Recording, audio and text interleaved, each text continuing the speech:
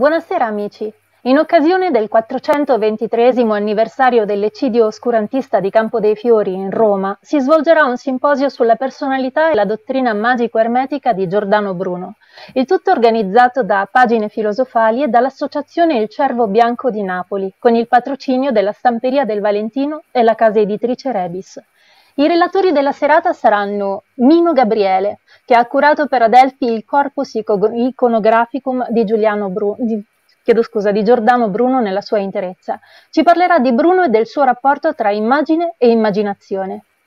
La dottoressa Clementina Gili Reda ha insegnato estetica ed educazione all'immagine all'Università Federico II, autrice di numerosi saggi. L'argomento della relazione è il furore dell'ingegno. Alessandro Orlandi, studioso, studioso, di esoterismo e fondatore della casa editrice La Lepre, collaboratore della Stamperia del Valentino, ci parlerà della storia legata al monumento a Giordano Bruno inaugurato a Campo dei Fiori a Roma nel 1889. Sigfrido Obel, storico ricercatore della tradizione esoterico-napoletana, collaboratore della Stamperia del Valentino, ci parlerà del mito di Atteone all'interno degli eroici furori. Stefano Maiorca, studioso di scienze esoteriche ed ermetiche, pittore, poeta, ci parlerà del raffronto tra la dottrina di Giordano Bruno e quella di Tommaso Campanella.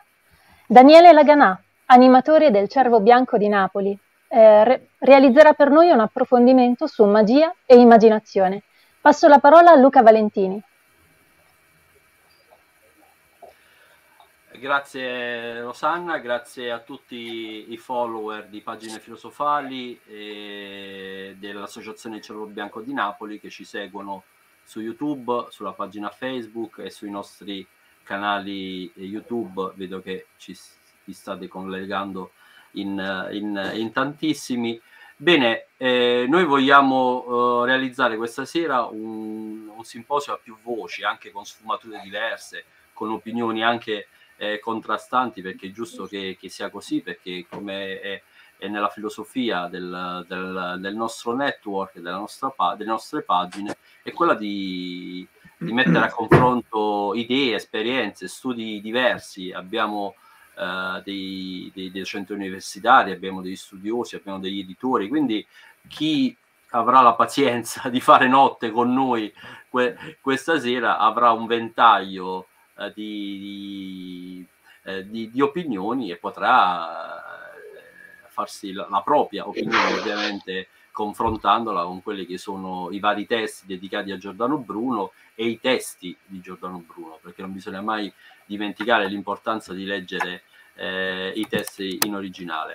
Io passo subito la parola e lo ringrazio perché eh, come tutti gli altri ospiti per noi è un onore eh, averlo per la prima volta qui su Pagine Filosofali il professor Mino Gabriele che come diceva Rosanna ha curato i testi di Giordano Bruno per, eh, per Adelphi e al professor Gabriele, eh, Gabriele chiedo oltre all'importanza no, di ricordare questo grande eh, eh, chiamiamolo pensatore per usare un termine generico, eh, eh, del, del, tardo, del tardo rinascimento, della prima età moderna, diciamo siamo un po', siamo un po al limite, eh, quanto i suoi studi eh, sul, sull'iconografia, sulle immagini, hanno penetrato il pensiero e la dottrina profonda di questo personaggio? E quanto magari eh, eh, nello studiarlo ha trovato delle criticità anche della personalità degli studenti, perché è giusto, come dire, non, essere, non fare l'apologia di,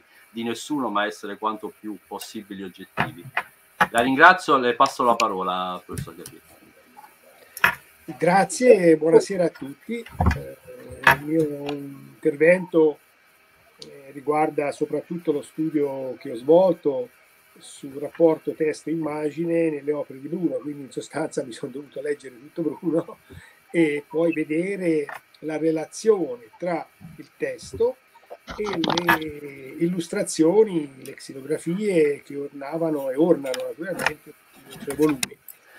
Mm, va detto che una gran parte di queste xilografie esaminate con la lampada di Bude, confrontate, esaminate con grande cura ovviamente allora, e rivelano una mano sua, originale, che del resto è confermata anche dall'introduzione alla sua opera da parte di, di un editore tipografo, eh, quindi Bruno incideva, eh, illustrava il suo pensiero, questo è, è, in sintesi il discorso, cosa unica nella storia della filosofia, per cui abbiamo questa connessione, questo incontro tra eh, appunto elaborazione, elaborazione, meditazione, riflessione e naturalmente cognizione del, del mondo e eh, la presentazione grafica del medesimo, della medesima elaborazione. Quindi è un fenomeno eh, più unico che raro, cioè non risulta che Platone o Leibniz o, o Cartesio o altri si siano messi lì a incidere o a illustrare in qualche modo il proprio pensiero.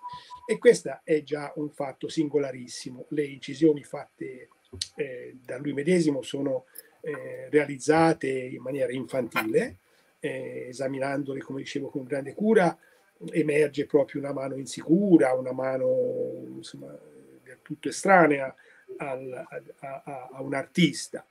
Ciò non toglie che eh, siano particolarmente eh, significative e importanti perché nel gioco testo-immagine, nel gioco eh, dove entrambe le modalità espressive si coniugano per ancor più chiarire il pensiero filosofico di quest'uomo, è, è, evidente che sia uno sposalizio di, di grande rilievo. Io devo dire che ho durato grandissima fatica non solo a leggermi tutto Bruno, che non è facile, che non è facile, e, e, poi trovare tutti gli spunti, esaminare ho ancora tanto materiale sopra, poi probabilmente questa edizione verrà rifatta il prossimo anno, fra due anni, già un po' che se ne parla con l'editore, dopo 20 anni, proprio perché tutta una serie di scoperte che ho fatto successivamente, per eh, riproporre quest'opera così esaurita e ancora ricercata. E la partenza è stata molto ardua nel momento che quando uno indaga qualcosa dal punto di vista scientifico filologico, storico, come vogliamo, la prima cosa che fa va a vedere la bibliografia. Ebbene, quando io ho avuto questo incarico dal Comitato Scientifico per le Celebrazioni, eh, ho dovuto solo trarre la conclusione che non c'era niente ovvero nessuno si era occupato delle immagini di Giordano Bruno.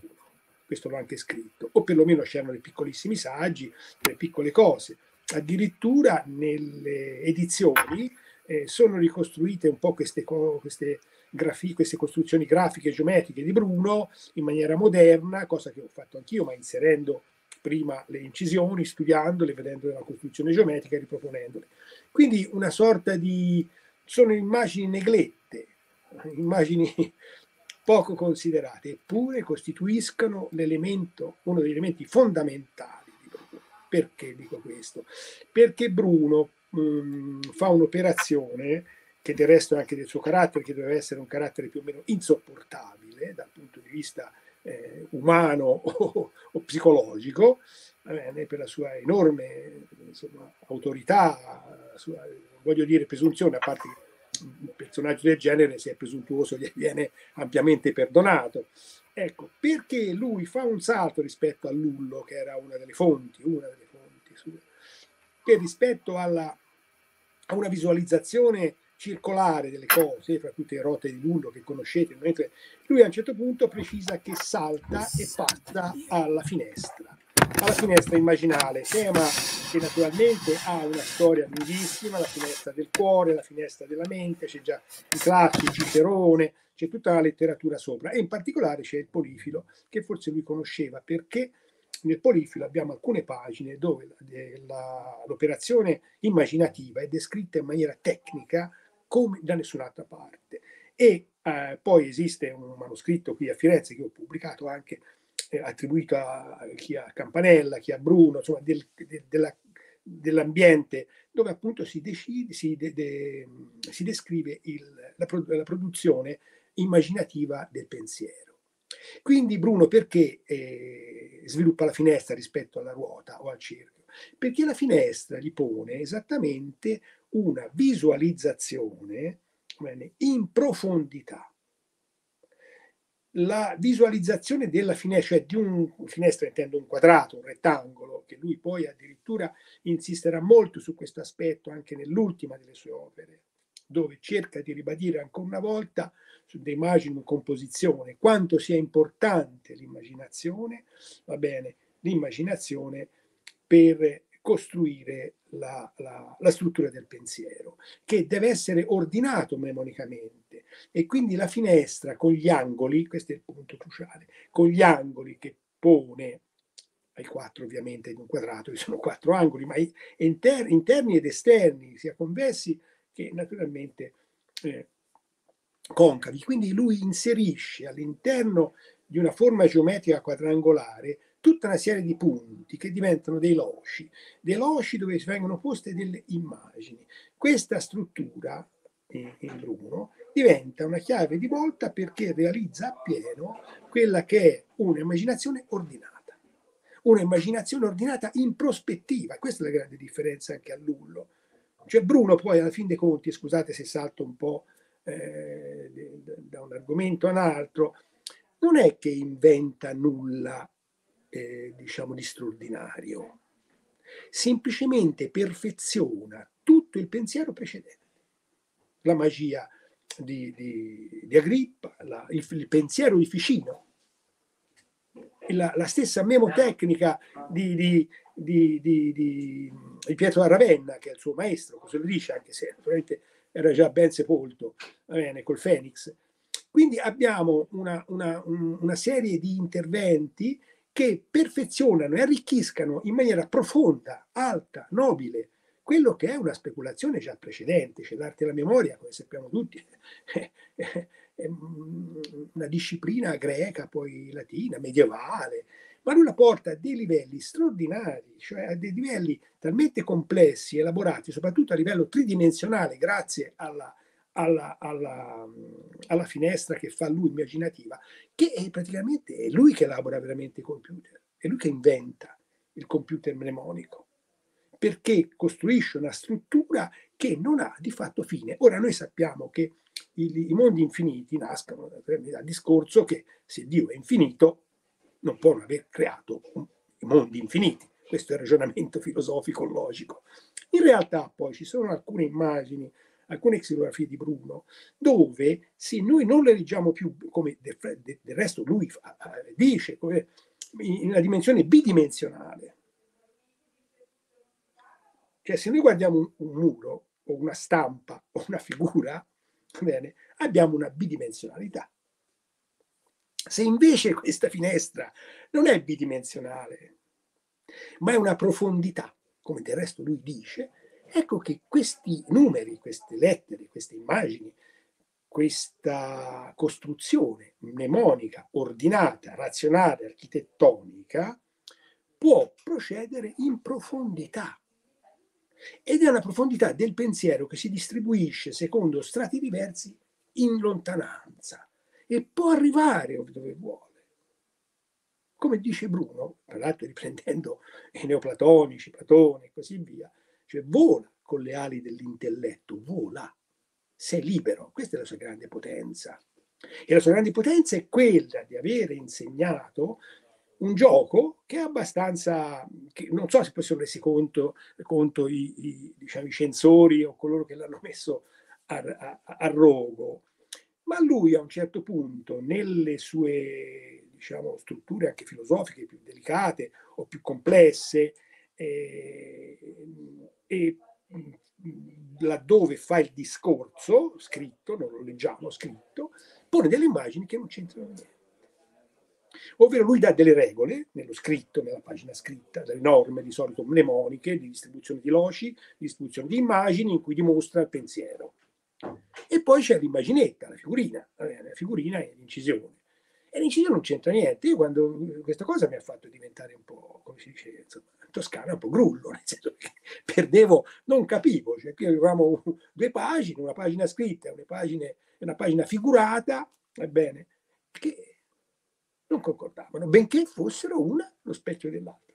Poi alla fine, per fortuna leggendolo tutto, con pazienza naturalmente, appunti, contrappunti, controllare, rivedere e così via. Ecco, alla fine ci sono due, un paio, due o tre punti che emergono e lui di fatto, scusate, c'è il telefonino, è eh, qua. Scusa, emerge il fatto, scusate, eh. eh.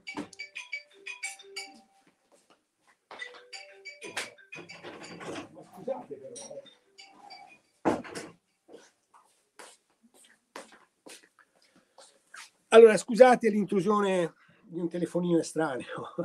Detto questo, dico, emerge in questo, in questo gioco testo immagine la spiegazione che dà lui stesso.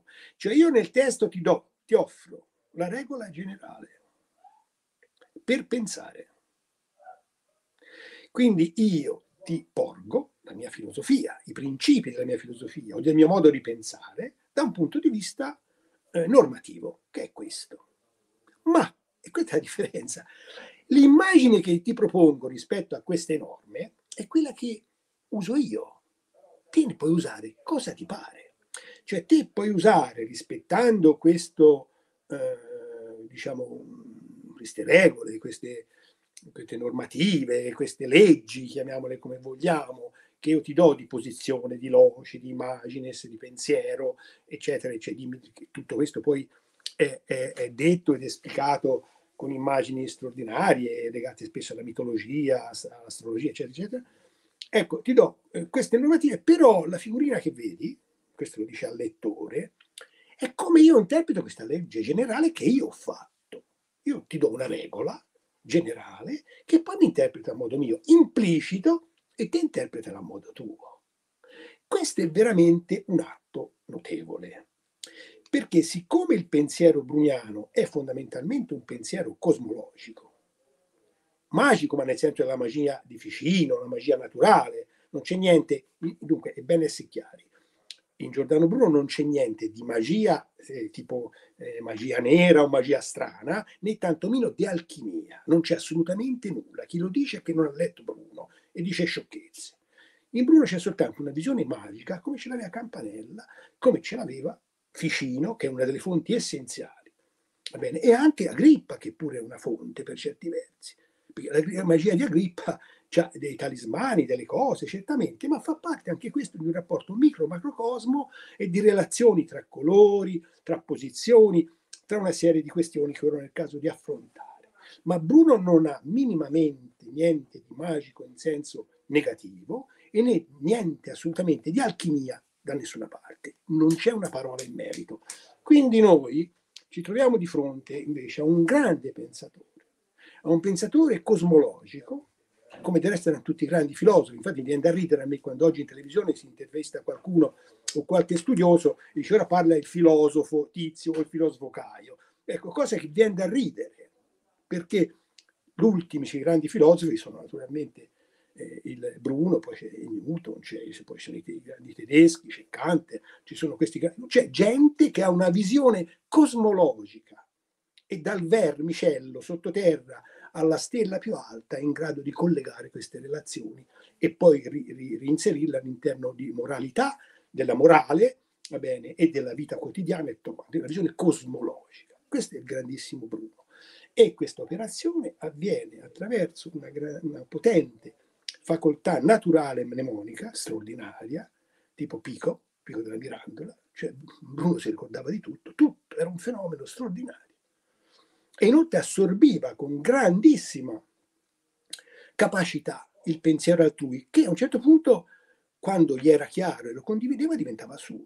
Infatti, quando va via da, quando lo mandano via da Oxford, i professori di Oxford si offendono e si arrabbiano e dicono: Ma questo è Ficino. No, a rifletterci bene, no, è Bruno che ha fatto sue quelle idee al punto tale bene, che sono le sue idee. Cioè, a tutti noi capita di avere delle idee che sono state assorbite e trasformate magari da una frase di un amico, da un incontro con una persona che ci ha detto delle cose e le condividiamo al tal punto che diventano nostre. E Bruno ha, un, ha una, una, voracità eh, di assorbimento una, che è enorme e quindi lui si compendia, riprende Cusano, riprende Ficino, conosce i neoplatonici, conosce senz'altro la, la, la, la, struttura immaginativa che porta ai livelli altissimi.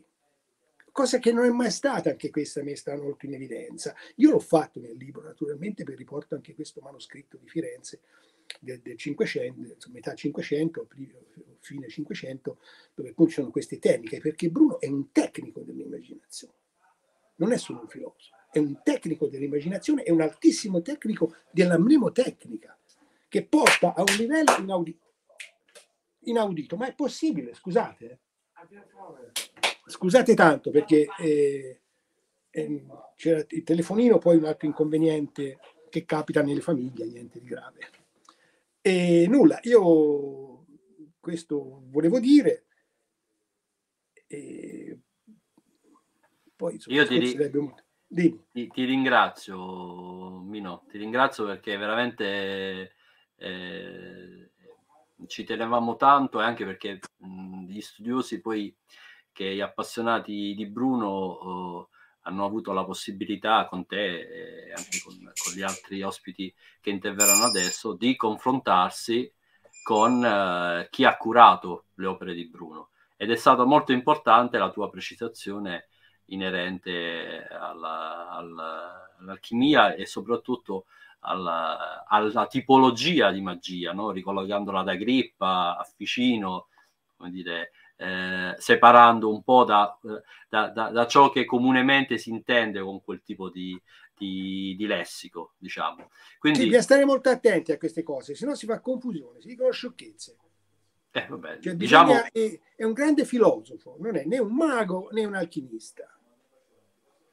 Ti, ti, ti ringrazio e spero di, di ritrovarti. Con Alessandro parlavamo del tuo saggio sui sette oggetti fatali di Roma, magari organizziamo una diretta su quello e approfondiamo anche quello.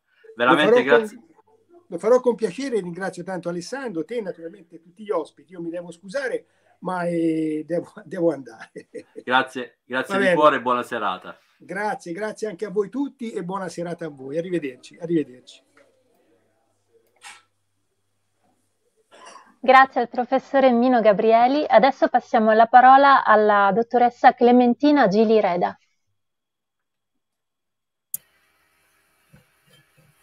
Allora, eh... prima di tutto mi spiace di non aver potuto dire al professore eh, Mino Gabriele che effettivamente il suo libro è stato un punto capitale per gli studiosi di Bruno perché ha aperto tutto un settore Certo, già, eh, non so, la cena delle ceneri, anche eh, le ombre delle idee, che sono eh, tra i primi scritti e anche tra quelli che si riescono a trovare anche in edizione singola, anche fuori di questo grandissimo lavoro fatto dalla scuola di Ciliberto, però sicuramente eh, sono questo lavoro di questi scritti, soprattutto per quanto riguarda gli scritti latini, è stato veramente importante perché prima c'era solo tocco. E Mino Gabriele in particolare con tutte queste eh, immagini date in modo completo e anche in modo molto efficace tanto per dire ecco lui non l'ha fatta vedere ma questa è una cosa che c'è nel suo libro e che è appunto quella ruota le prime ruote della memoria che sono effettivamente lui l'ha detta con molta eh, con molta semplicità sono effettivamente eh, la prima idea abbastanza stabile del computer, per cui effettivamente è probabile che Bruno sia stato colui che ha dato quell'idea che poi Leibniz e Pascal hanno subito girato però verso la logica binaria. Lui invece, perché c'era stato Cartesio, c'è Cartesio e Galilei di mezzo tra Bruno e questi autori e quindi poi diciamo la logica dei computer non ha, ha, lasciato da parte eh, l'idea di Bruno che era l'idea di una logica simbolica.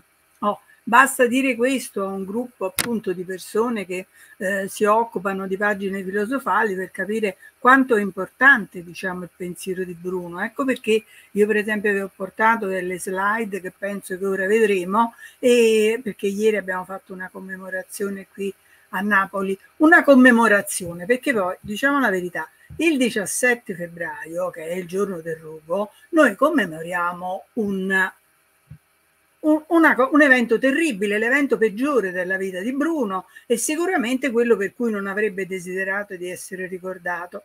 Io spero eh, tra poco, il 27 marzo invece, di fare un altro discorso sempre su Giordano Bruno, però ricordando eh, la, la, soluzione, la finale, il giudizio che poi diede eh, il um, Tribunale di Venezia che era semplicemente una condanna da prigionia perché lui aveva qui e lì fatto una serie di eh, cose che la curia trovava eh, importanti da discutere, ma non certamente una condanna a morte. Ecco, il 27 marzo possiamo celebrare Bruno eh, il, il, nostro Bruno, eh, di noi che abbiamo poi dedicato molti anni a studiarlo, perché lui, oltre che eh, il furore della, dell'ingegno, passiamo oltre il titolo con la slide, oltre che eh, diciamo essere importante, eh, passiamo questa, oltre alla seconda slide, ecco. che questo è solo il titolo. Ecco.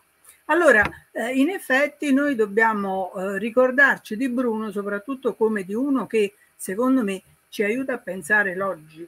La giornata di ieri era intitolata Il Rinascimento prossimo venturo. Io credo che Bruno abbia la possibilità di dire molto agli uomini di questo nuovo millennio, perché Bruno vive come noi un'epoca, una nuova era, un'epoca in cui si avverte un cambiamento talmente forte rispetto al precedente, all'epoca precedente, che eh, addirittura si parla di nuova era, quindi un cambiamento totale. Ricordo di aver sentito molti anni fa Cesare Musatti parlare di, eh, del, della nostra situazione di uomini eh, che siamo distanti da nostro nonno quanto nostro nonno era distante dai romani. Questo lui lo diceva all'Istituto di Studi Filosofici nei tempi eroici, anni 80-90, 80 forse, 70-80. Oggi potremmo dire molto di più. Non più paragonabile la nostra epoca a quella anche che noi stessi, quelli un po' più avanti negli anni, hanno vissuto. Non c'è un grande paragone tra i decenni trascorsi e l'oggi. È effettivamente cambiata un'era e ogni momento una variazione tecnologica ci impone di cambiare abbastanza radicalmente la nostra vita.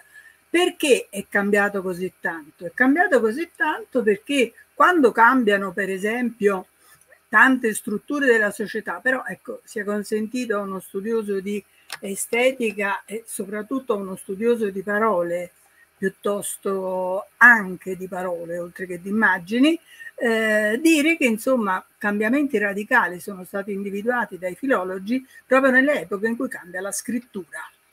Tra Socrate e Platone vi ricordate la differenza, Socrate non scrive nulla, Platone scrive un'enorme quantità di opere, tanto che Aristotele inventa il principio di non contraddizione per riuscire a dominare questo mondo che è diventato infinito. Altra variazione importante, questo perché? Perché nella lingua greca erano state introdotte le vocali. Era diventata una lingua vocalica dopo le consonantiche. Questo fatto fa sì che si sviluppi, diciamo, una logica diversa e cambia quindi il rapporto con la scrittura che viene reputata da allontanare oppure da seguire. Roto, altra differenza importante è quando si passa dai rotoli ai manoscritti, quando si passa dalla stampa manoscritta a Gutenberg. Noi oggi con la rivoluzione tecnologica abbiamo semplicemente oramai una nuova lingua indominabile da imparare un po' da soli, come abbiamo sempre imparato le cose. Diceva Pasolini, non ci dobbiamo spaventare perché la lingua del cinema è in fondo la nostra lingua madre. Ma nella nostra lingua madre parlavano le tradizioni delle nonne, parlavano tutti i libri che leggevamo, parlava la storia dei monumenti che vedevamo. Nella lingua di oggi passa invece l'elaborato di equip ampie e ben costruite di persone espertissime di target e di scienza della comunicazione. Non si può assolutamente dire che la lingua che noi imparavamo dai nostri padri, conoscendo, non so, diciamo 30-50 persone, proprio nei casi eccezionali, e due, tre, quattro paesi diversi, è chiaro. Era una vita molto più limitata come patrimonio di immagini e di parole. Oggi invece questa lingua che dai bambini piccolissimi a noi ci apre sconfinate eh, visioni, tanto che sempre più volte è tornata l'idea del formicaio prossimo venturo, cioè di questo mondo in cui neanche noi poi riusciamo molto bene a, a capire le direzioni verso cui si va. Ecco, questa enorme variazione che badate è cominciata due secoli fa, cioè con i trasporti rapidissimi e con la comunicazione che diventava mano a mano istantanea come ora. Ora, tutta questa variazione però io credo che nel mondo d'oggi sia esplosa con la pandemia. Questa è la situazione difficile anche dal punto di vista storico in cui ci troviamo, perché in realtà un lungo tessuto di instabilità che la, la ricerca registrava, è chiaro, perché la ricerca fin dagli anni 60, 70, ma anche prima, ha registrato che c'erano entravano in crisi molti elementi della tradizione e si trasformavano troppo velocemente perché gli intellettuali potessero stare dietro a questa cosa. Quindi tutti gli intellettuali più furbi si sono dedicati immediatamente a scegliere delle strade rapide anche loro, evitando di porsi il problema e in sostanza non hanno fatto quello che tutti gli intellettuali fanno sempre, e cioè essere sincretici, come diceva un attimo fa eh, il professore Gabriele, eh, dicendo un po' la, la situazione che eh, si crea nel, nel, nel, mondo d'oggi quando in pratica ci, ci si trova a dover governare una realtà così ampia che non, non, riusciamo più a capire, cioè praticamente ricorriamo al passato, però disordinatamente. Il filosofo è abituato invece a prendere i problemi, esaminarlo e se non ha poi grandi, questi grandi bisogni di apparire, studia tutto il tempo e arriva a vedere le cose in un altro modo, rendendosi conto che la situazione è tanto più grave oggi perché è esplosa e come sapete la guerra e soprattutto io trovo un'instabilità costante nei rapporti umani è diventata più frequente perché non tutti quanti ecco, stanno sfruttando come noi stiamo facendo in questo momento le grandi virtù che ha la rete e quindi spesso poi ci si ritrova in una situazione difficile. Possiamo andare avanti con, con sì. la slide.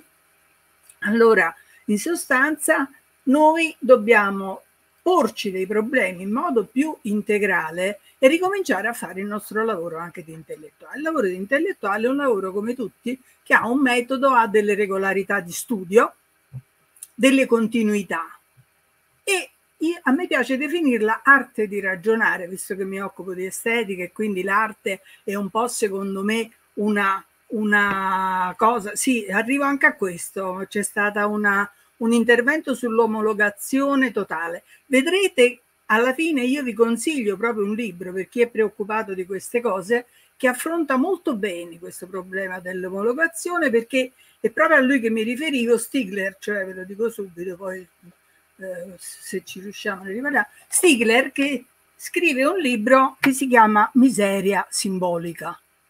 È uno morto nel 21, il libro è addirittura del 22, molto bello perché eh, rifà, ritorna su questa idea del formicaio umano che sapete già da Orwell, Huxley, insomma, il Novecento ne ha fatte tante di queste distopie eh, su quest'uomo che viene reso conformistico e privato della sua capacità di pensare razionale.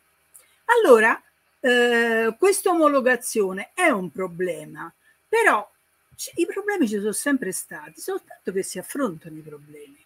Ecco, ecco perché io prima vi dicevo nella slide, slide prima avevo sottolineato quel titolo costruttivismo. Il costruttivismo è il voler risolvere i problemi, perché i problemi è sempre facile risolverli.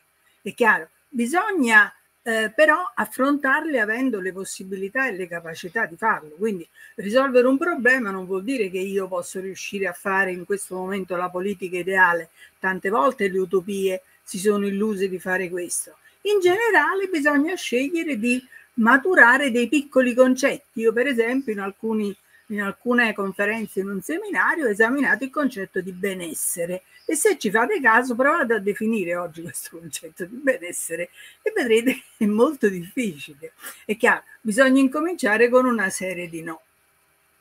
Allora, da dove vengono questa serie di no? E qui incomincia questa nuova slide. Basterà la cabala? Cioè, basterà oggi il pensiero numerico?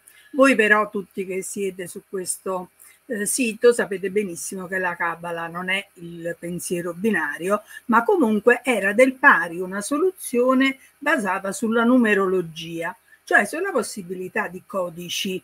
Attraverso una serie di codici numerici io riesco a eh, conseguire una serie di arcani che poi in conclusione con dei ragionamenti di tipo eh, lineare sempre, di tipo credo poi perché non sono un'esperta di Kabbalah, mi sono occupata di Kabbalah soltanto per arrivare a capire che Bruno la rifiuta nettamente, tanto che noi troviamo la parola Kabbalah solamente in, nel più umoristico eh, da un certo sarcastico, diciamo meglio, nel più sarcastico dei suoi eh, dialoghi italiani, che è la cabala del cavallo pegaseo e dell'asino cillenico, dove praticamente ci propone questo uomo nuovo come un asino. È chiaro perché l'asino è, prima di tutto non beve acqua sporca, è sincero, è naturale e soprattutto non ce lo dimentichiamo, fino a qualche generazione fa era eh, l'aiuto in tutte le occorrenze della vita dell'uomo. Cavallo può fare poche cose come il bue, la vacca, eccetera. L'asino invece effettivamente era eh, la macchina dei più poveri, ma anche eh, l'aiuto in tante attività umane. Quindi l'asino ha questo aspetto naturale, però lui è quello, eh, il, il pedante che parla nella situazione, che è praticamente un asino ed è stato anche asino, prima ancora di essere asino era Aristotele. Allora, il Aristo, eh, l'asino era è la, qual è il difetto dell'asino? Perché è forte, è obbediente, è eh, disponibile ai nostri comandi. Il difetto dell'asino è che non sa giudicare. E questa frase la dice molto bene Bruno dicendo non distingue cardi e lattughe, mangia indifferentemente l'una e l'altra. Ora, se vi ricordate cosa sono i cardi e cosa sono le lattughe, vi fate un'idea di eh, come sceglie l'asino. Il pedante è esattamente così, dice Bruno. Il pedante è uno che in realtà conserva tutto quello che c'è nel passato senza giudicare che ci sono 5 cose utili e 20 da buttare e quindi in sostanza conserva 25 cose, ma solo poche cose saranno effettivamente da sviluppare. Quindi quello che noi dobbiamo riuscire a capire è come insegnare all'asino a giudicare. L'asino è stato in certo modo cavallo pegaseo, cioè Aristotele, questo maestro di coloro che sanno per mille anni è chiaro? È stato Aristotele e quindi grande cavallo pieno di, di, di grande gioia e poi è finito Asino. Sono uno da buttare e uno da lasciare? No, dice Bruno. Ed è, questa, ed è questo il motivo per cui lui rifiuta la Cabala in modo esplicito. Perché lui, per esempio, parla di quasi numero, quasi matematica. Ora fa un po' ridere la prima volta che lo vedi, ci ridi su, che, vuol dire quasi matematica o è matematico non lo è, o no? Oh. Allora, dire quasi numero e quasi matematica e costruire poi una scienza che deve essere soprattutto attenta alla scienza sensibile, al dato della sensibilità, quindi a quella conoscenza che tutti quanti noi abbiamo, ecco, porta necessariamente il rifiuto del numero come codice tipo, perché? Perché il numero non parla, cioè quando voi dite che io ho intorno a 15 cose, probabilmente io ce ne ho 30 di cose. Ora, queste 30 cose hanno un valore perché sono 30, ma per me che sto qui in mezzo sicuramente non ha lo stesso valore il computer e un libro, per esempio. No, sono diversi. Cosa faccio io quando dico che ho intorno 30 cose? Dico che annullo la qualità. Cioè io per fare un numero, dice ma quante sono queste cose? 50, 100, 200? È chiaro? In realtà io annullo la qualità, quello che oramai noi facciamo abitualmente con le statistiche, persino con il gradimento di un programma televisivo, che infatti è diventato una questione del 50%, 70%, 10%. È chiaro, nessun, non si parla più dei contenuti, i contenuti sono l'ultima cosa. È chiaro. Allora, rifiutare la cabala per Bruno significa rifiutare la qualità. E allora come si fa? Possiamo passare all'altra slide. Sì. Eh, non so se è possibile vederla un poco più grande perché qui c'è proprio un pezzo di Bruno. Penso che si legge, no? Sì. Allora, questo è proprio Bruno che parla ed è l'apoteosi del libero pensiero. I concetti semplici, le sentenze enunciative, gli discorsi sillogistici che apporto in favore di questo sacro, impolluto santo animale, l'asino, sono puri, veri e dimostrativi, oppure sono finti.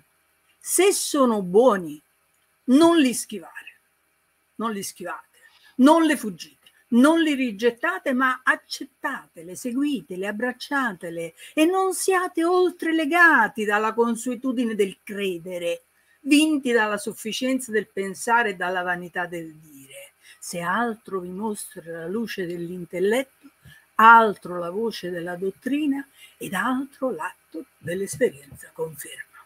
Allora, più chiaro di questo, non il numero, non il rifiuto della qualità, voi siete capaci di capire la qualità delle cose, allora credete a voi stessi. Lui diceva la voce di Dio parla ogni giorno ed è ogni giorno diversa nella sensazione.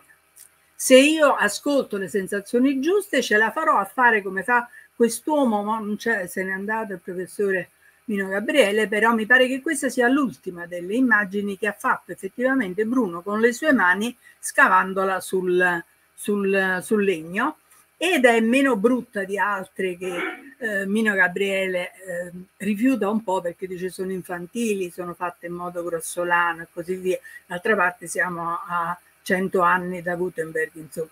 Eh, tipografi sono tanti, ma non, non c'è ancora questa grande scienza. Allora, se riuscite a leggere, questo è la, il quadrato della speranza.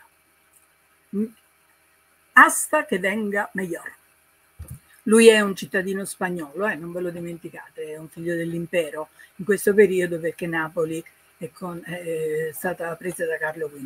Allora, in pratica, hasta che venga meglio, il libero pensiero è la scelta che ci può guidare in ogni tipo di cosa. Allora, vedete comparire questo personaggio che è un compagno d'avventura, uno che si è trovato in un mondo cambiato da Copernico, addirittura la Terra non sta più sul suo asse eh, e girare a girare per sé, ma invece è lei che gira intorno al Sole.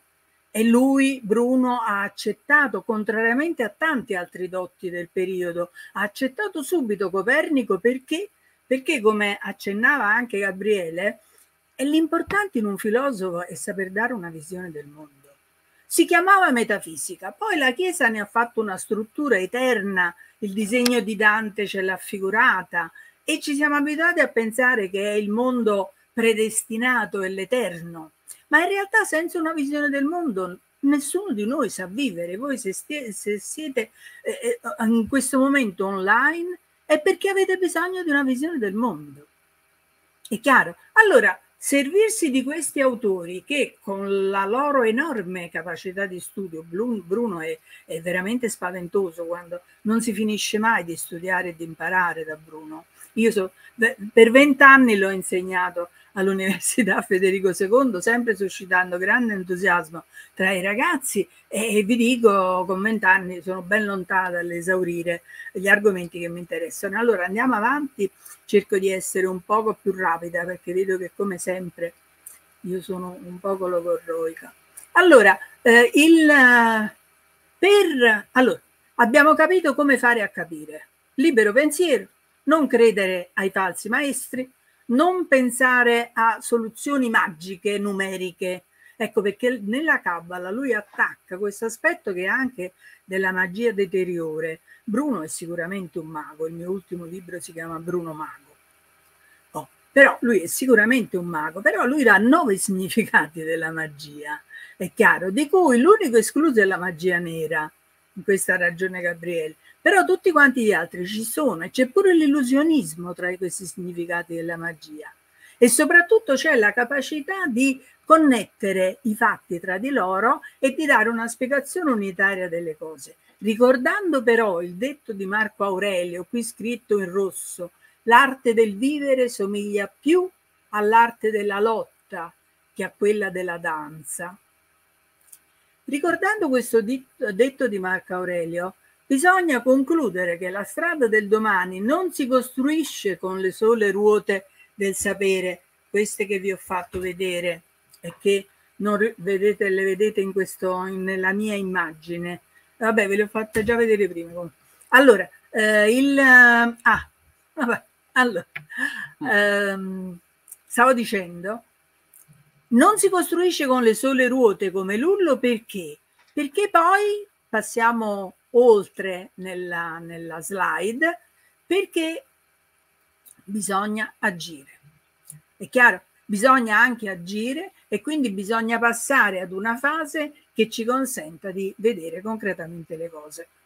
Lullo aveva avviato la strada delle ruote, cioè la strada di eh, fare una visione del mondo e aveva scelto questa strada delle ruote girevoli. Allora, eh, Bruno le ha perfezionate appunto rendendole girevoli e quindi rendendo estremamente complicato tutto il percorso.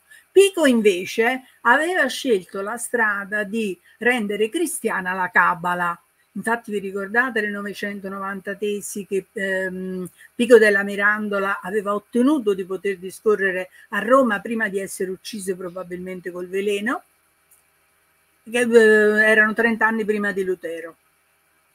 Oh. Allora, lui aveva tentato di fare questa cristianizzazione della Cabala, che aveva a dire la verità molti, molti seguaci. Bruno non la scelse, mentre sfruttando la notorietà di Pico della Mirandola, che aveva scritto anche il De Dignitate Hominis, che era stato tradotto da Tommaso Moro in inglese. Quindi diciamo che gli inglesi conoscevano Pico della Mirandola e probabilmente avrebbero accolto molto meglio il suo, ehm, il, il suo, la sua presenza e forse gli avrebbero anche dato quel posto che lui voleva ad Oxford, mentre invece poi la situazione crollò, non si riuscì a fare andare avanti il dialogo. Quindi il rifiuto della Cabala è molto serio. Allora, capito che cosa fare, bisogna agire, ma questo agire, badate a quest'ultima parola che io ho scritto isolata, bisogna agire temperando. Io sto facendo attenzione a questa parola perché nel Cinquecento è anche la parola chiave, per esempio, di, della porta. Anche lui insiste molto su quella temperanza, che forse francamente è una cosa che noi poi fino a un certo punto ci, insomma, abbiamo perso tempo su questa parola, abbiamo badato più su altre, mentre invece oggi con questo clima di guerra risorgente si capisce la necessità della temperanza perché l'alternativa al temperare i propri interessi è la guerra. E se passiamo di slide vediamo due aspetti della guerra loro purtroppo sono meno necessari di quella di oggi perché questa è l'epoca in cui nasce il giusnaturalismo quindi non è solo Bruno a fare questa lotta appassionata per la pace passiamo oltre e ci sono queste immagini della notte di San Bartolomeo, una e poi due, eh, che sono, questa soprattutto è, veramente eh, ti fa entrare diciamo in quello che vuol dire una guerra nelle corti europee,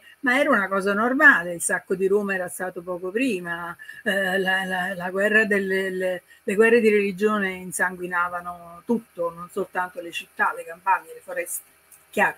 Allora, l'unico modo per evitare queste scene è questo. E Bruno quale strada sceglie? Ma la strada, io direi, di Che Guevara, un po' meno, meno, meno turbolento e meno anche inconcludente, perché lui va direttamente nelle corti reali, visto che è tanto bravo nel parlare e nel memorizzare, e parla al re di Francia, alla regina d'Inghilterra, all'imperatore, parla a tutti e ottiene eh, di convincerli poco perché chi volete che allora potesse fare la pace di religione? Non soltanto, ma Bruno, benché avesse trovato a Tolosa prima e a Wittenberg poi, Wittenberg, la città di Lutero, a, avesse trovato situazioni di relativa pace e se n'era andato. Se n'era andato per andare a combattere ancora per la pace. Da Tolosa va a Parigi, poi va a Londra eh, da, da, da, da Wittenberg, dove aveva trovato un poco di pace, se ne, se ne va addirittura a Venezia per cercare di convincere il Papa. sicuramente è un utopista, ma è un grande combattente, un personaggio che ci fa capire bene quella frase di Marco Aurelio. Danzare è bello, danzare, ballare, intrattenerci quanto vogliamo, però qua se non c'è nessuno che lotta, le cose non è che vanno bene e lottare non si dovrebbe come in queste immagini che abbiamo ancora davanti, ma in modo molto serio. Andiamo più avanti, temperando. Io credo che gli intellettuali nel Novecento hanno fatto sciopero e, e questo non, non, andava bene. È chiaro, oramai appunto la filosofia, diceva giustamente Mino Gabriele, ma dove stanno i grandi filosofi? Intorno a noi, cioè quelli che effettivamente ci sanno dire qualcosa. Quando compaiono, fanno il sindaco di Venezia, il sindaco di qua, il sindaco dall'altra parte, ci dicono molte cose, ma nulla di fruibile effettivamente per le nostre cose. Allora, la macchina del sapere simbolico, che poi viene nel decomposizione, immagino veramente, eh, de immaginum composizione veramente, eh, viene effettivamente trattata in una maniera, io, è lo studio che spero ora di fare. Quindi non ho ancora raggiunto conclusioni, però vorrei dire una cosa che avrei voluto dire anche a Gabriele, perché lui praticamente sostiene che la, eh, questa forma circolare, vi ho fatto vedere queste cose, se passate un attimo eh, il mio video avanti, ve le faccio vedere perché appunto nel libro di Gabriele c'erano queste, eh, questi cerchi, vedete, ogni cerchio è girevole sugli altri. E ora poi ve lo faccio vedere, intanto vi sto facendo vedere che girano ecco girano. Allora girando noi ci troviamo ogni volta davanti lettere e numeri e alfabeti particolari tutte diverse l'una dall'altra. Come funziona questa macchina? Funziona come un paroliamo come un, un gioco. Funziona come un gioco. Ma è un gioco di memoria che consente di creare ogni volta delle vicinanze impensate Ecco, per esempio, non so, non penserete, anche perché ognuna di queste lettere, per esempio nell'arte della, nelle ombre delle idee, nelle ombre delle idee, nell'arte della memoria comunque, che sono il primo scritto di Giordano Bruno, ehm, giunto a noi naturalmente, eh, praticamente eh, noi abbiamo l'elenco, ogni lettera c'è scritto a che cosa corrisponde, è una codifica anche questa. Allora, quando voi vedete queste cose, potete codificare. Pensate, io ho fatto, il, ho, ho badato essenzialmente alle cose che conosco io di più, cioè i filosofi. Ecco, anche i filosofi hanno tutti quanti una loro lettera su questa cosa. Quindi, per esempio, la ruota girando, perché gira a caso, vi può mettere insieme Platone e Hegel, va bene? Sa a voi poi che leggete dire ma questo proprio non c'entra niente. Oppure sì, ma guarda, effettivamente, per esempio con Aristotele eh, Hegel è stato trovato abbastanza convergente. Allora, il fatto casuale, il filosofo però ci va seguendo, potete eh, ritornare alle slide, eh, il filosofo ci va seguendo una logica lineare. Le ruote che girano vi portano invece al privilegio della analogia. E questa è l'altra parola chiave che vi vorrei lasciare. Bruno è autore di un sistema ancor più che simbolico analogico. Allora, il caso che fa girare le ruote vi porta, vi stimola la mente a trovare dei raffronti analogici. Questa è magia. Trovare dei confronti senza senso, magia diceva lui. Oggi Popper dice ipotesi. Pur di non passare questa fantasia che avete fatto per verità sic e simplicite, è chiaro, se riuscite invece a fermarvi e a iniziare uno studio su questa cosa e a vedere se effettivamente è congruo oppure no, limitando opportunamente il campo, è chiaro, voi avete la possibilità di aumentare il vostro sapere. Ecco, questo è un tipo di ragionamento che secondo me oggi va fatto. Io infatti sto lavorando sull'intelligenza artificiale ora, proprio perché credo che non è una cosa che possa fare uno studioso. C'è bisogno di creare dei convegni, dei seminari e, e vedere se è riproponibile ancora una cosa del genere. Allora, passiamo un attimo alla successiva. Vi dicevo, Mino Gabriele eh, criticava questo sistema delle ruote siffatte, che erano, diciamo, già l'eredità del passato. Questa a, a destra è la ruota di Lullo. Eh, poi tutti quanti facevano ruote, eh, troviamo ruote del sapere fatte da tutti quanti. E questa qua in particolare a me piace molto perché se vedete queste sembrano le categorie kantiane, sembra uno schema categoriale simile a quello che poi eh, con Kant diventerà la base della filosofia moderna. Allora andiamo oltre, andiamo oltre, perché oltre a queste forme così fatte, Mino Gabriele dice giustamente in un secondo momento lui non fa più circoli, fa quadrati. Allora, anche questo c'è molto, queste, le, le, immagini a destra e a sinistra non sono di Bruno e questa qua addirittura è Cesare Ripa, insomma, cioè voglio dire dei grandissimi repertori di immagini di cui il Cinquecento è abbastanza ricco. Al centro c'è l'immagine di Bruno. Al centro c'è questa immagine che lui ha creato ehm, proprio ehm, grattan, graffiando da solo il legno del tipografo. E lui, Mino Gabriele, la criticava dicendo fa una serie di disegni, vedete i fiorellini, le cose, e mm, dice probabilmente questi sono dei simboli, dei momenti che legano tra le cose. Tra l'altro questa è una mandola, lui non dimentica mai la campagna da cui viene, quindi è probabile che questo fosse anche uno strumento che gli ricordava anche la, la gioventù. Allora, ehm, io a dirvi la verità, dopo aver studiato per tanti anni Bruno, ho fatto una serie di tentativi di avvicinamento, non soltanto al discorso delle immagini che ho capito subito venendo all'estetica sono importantissime, perché la struttura rettangolare, non ce lo dimentichiamo, è quella dei quadri. È chiaro, cioè ognuno può fare un quadro, sicuramente ne abbiamo fatto qualcuno. Allora, questi quadri eh, sono effettivamente salvano la memoria meglio del tondo. È chiaro, non a caso i pittori ci sono i tondi, ma sono pochi, più che altro fanno quadrati perché è effettivamente una figura meglio strutturabile.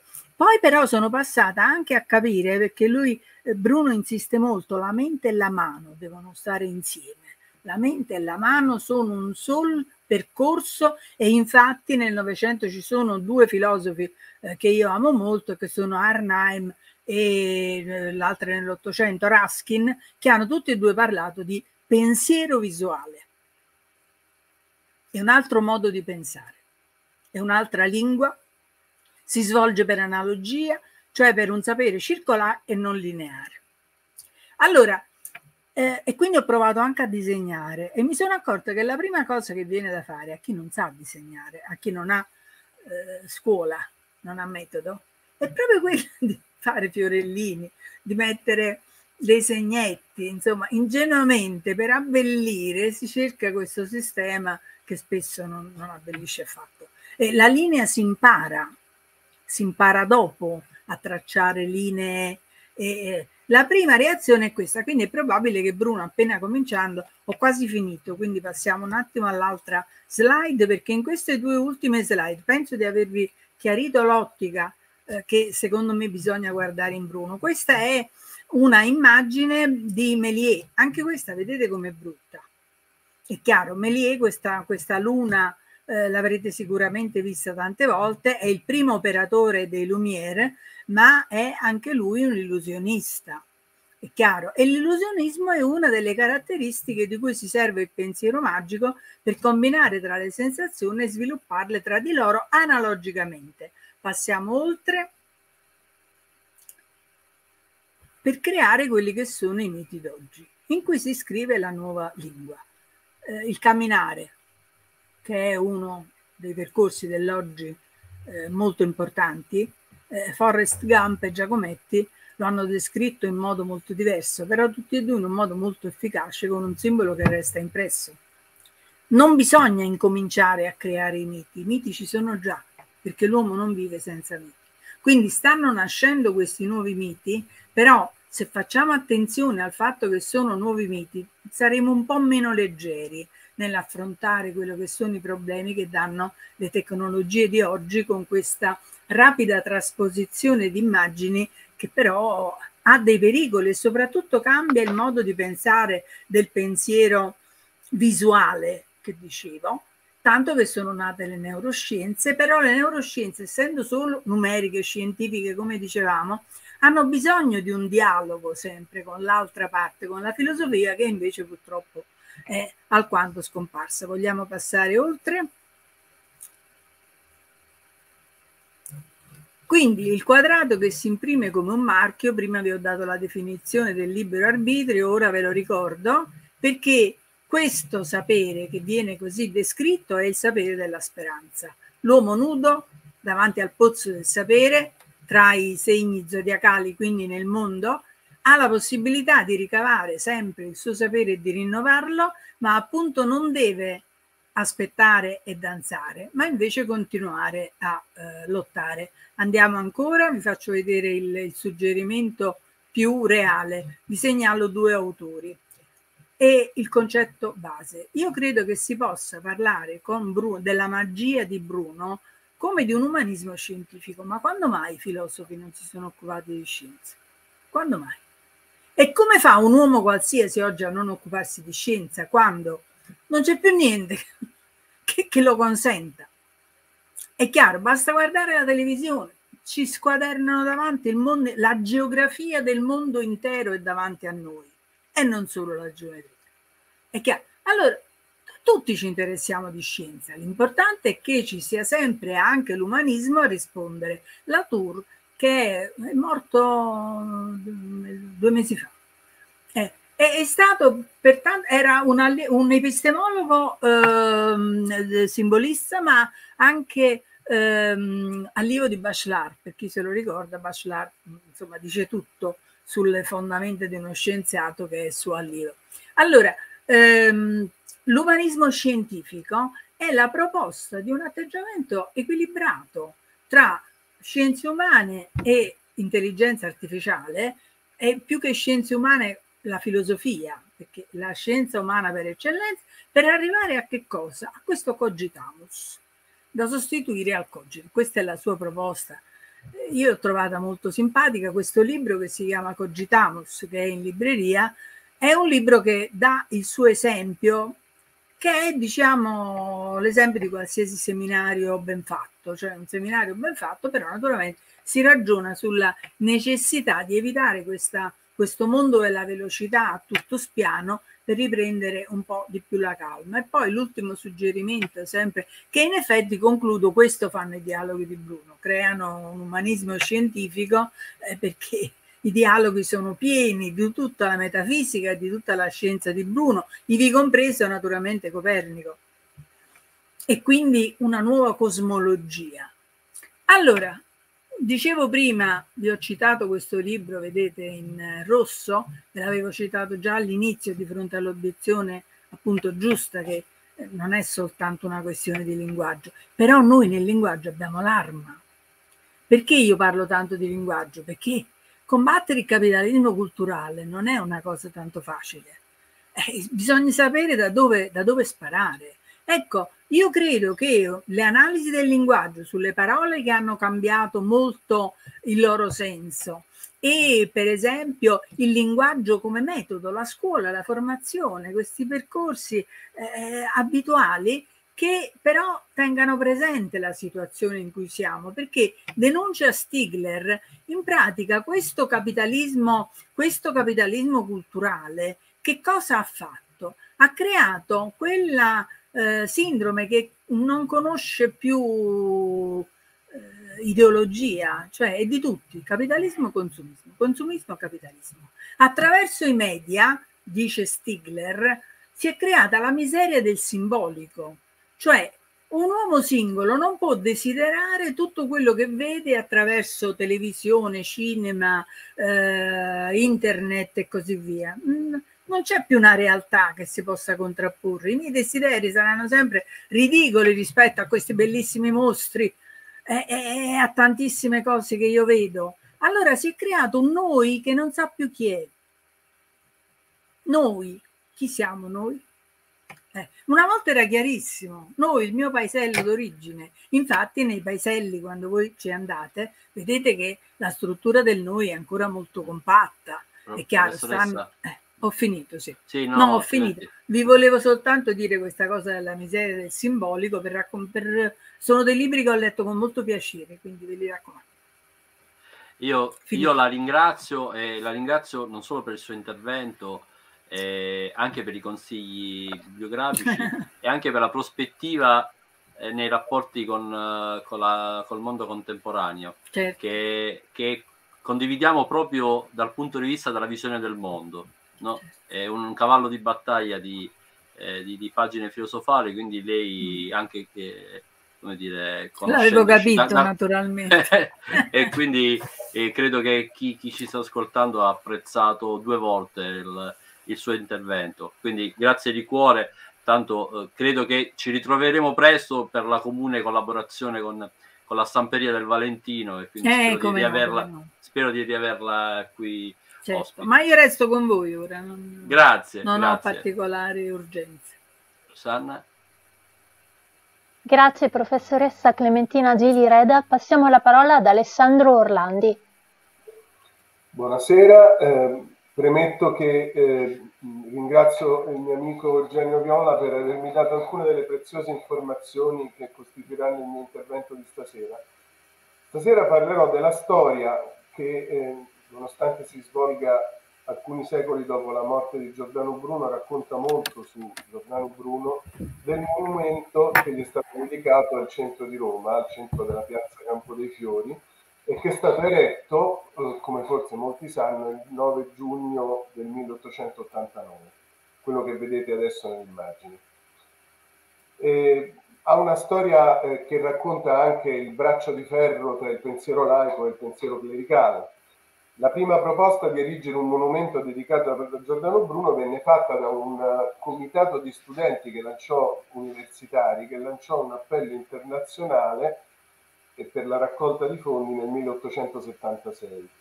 I fondi raccolti per la verità non furono molti, ma eh, nel 1878 vennero presentati al Comune di Roma quattro bozzetti per l'erezione del monumento.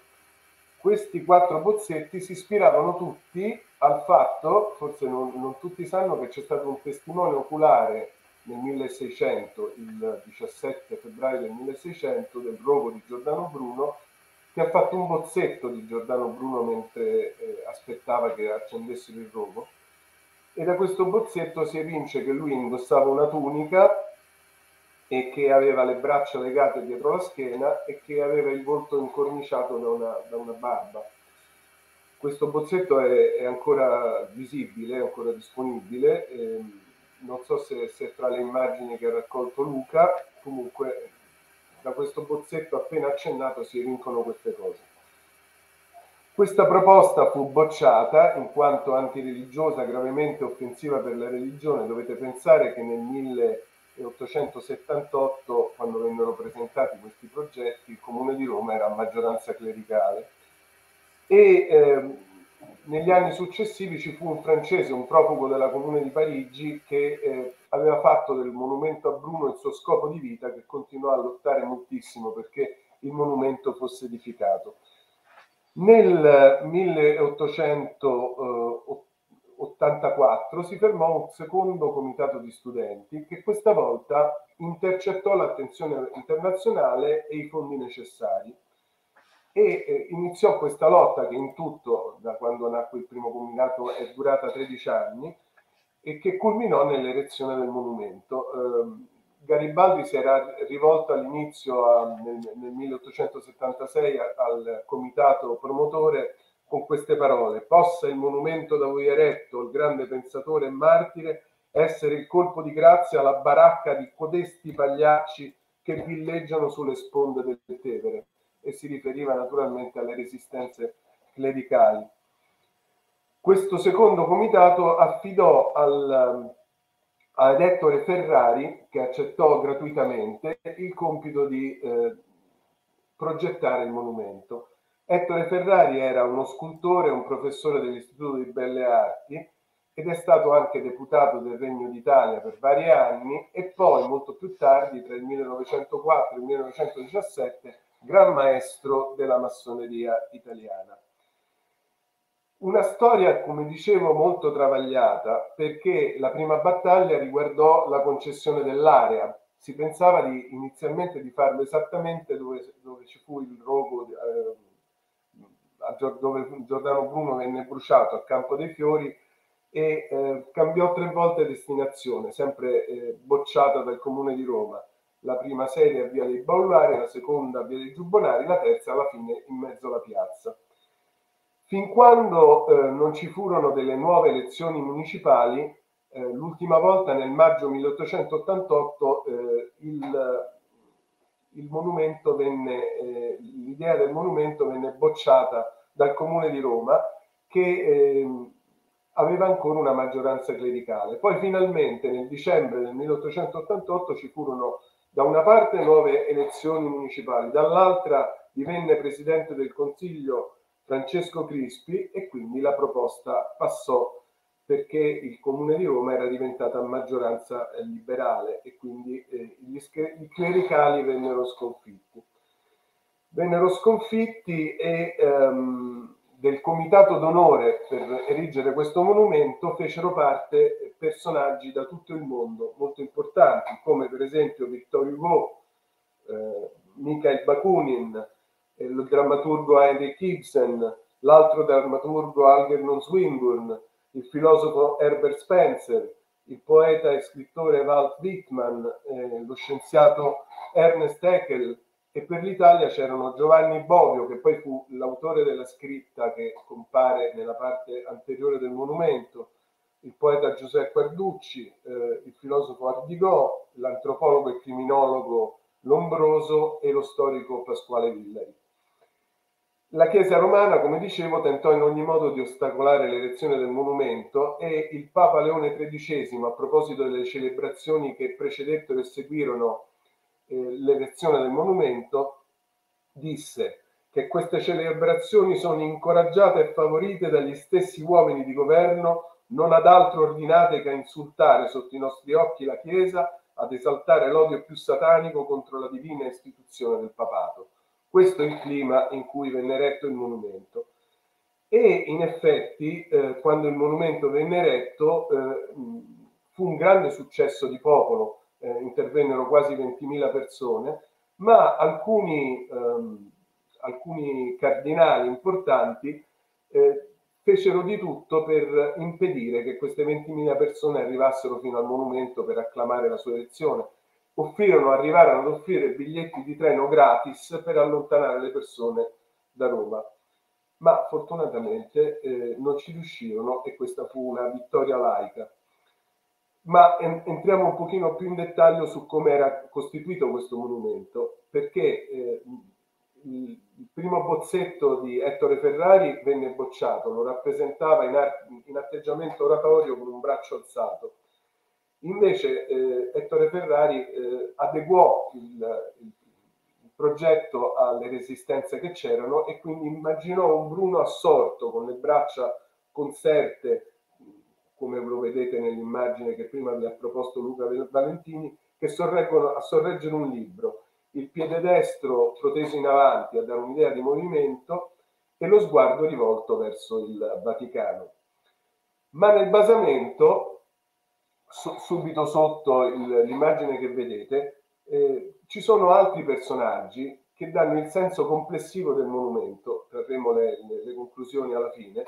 Sul lato nord ci sono i critici della Chiesa prima della Riforma e ci sono John Wycliffe e Jan Hus. Wycliffe, vissuto nel XIV secolo, era un eh, inglese che anticipatore della riforma protestante, i cui scritti vennero bruciati e che venne condannato al rogo dal concilio, di, dal concilio di Costanza 50 anni dopo la sua morte. Quindi venne esumato e i, i suoi resti vennero bruciati. Eh, pensate che livello di fanatismo religioso ci poteva essere.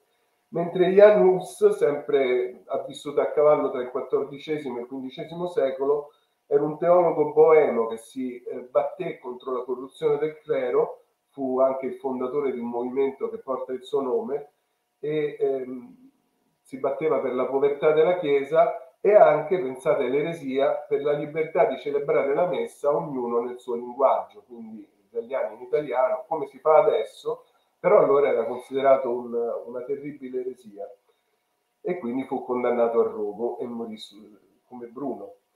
Sopra eh, questi due personaggi c'è una formella che rappresenta Giordano Bruno sul rogo che si ispira al disegno di quel notaio che, De Angelis che assistette al rogo.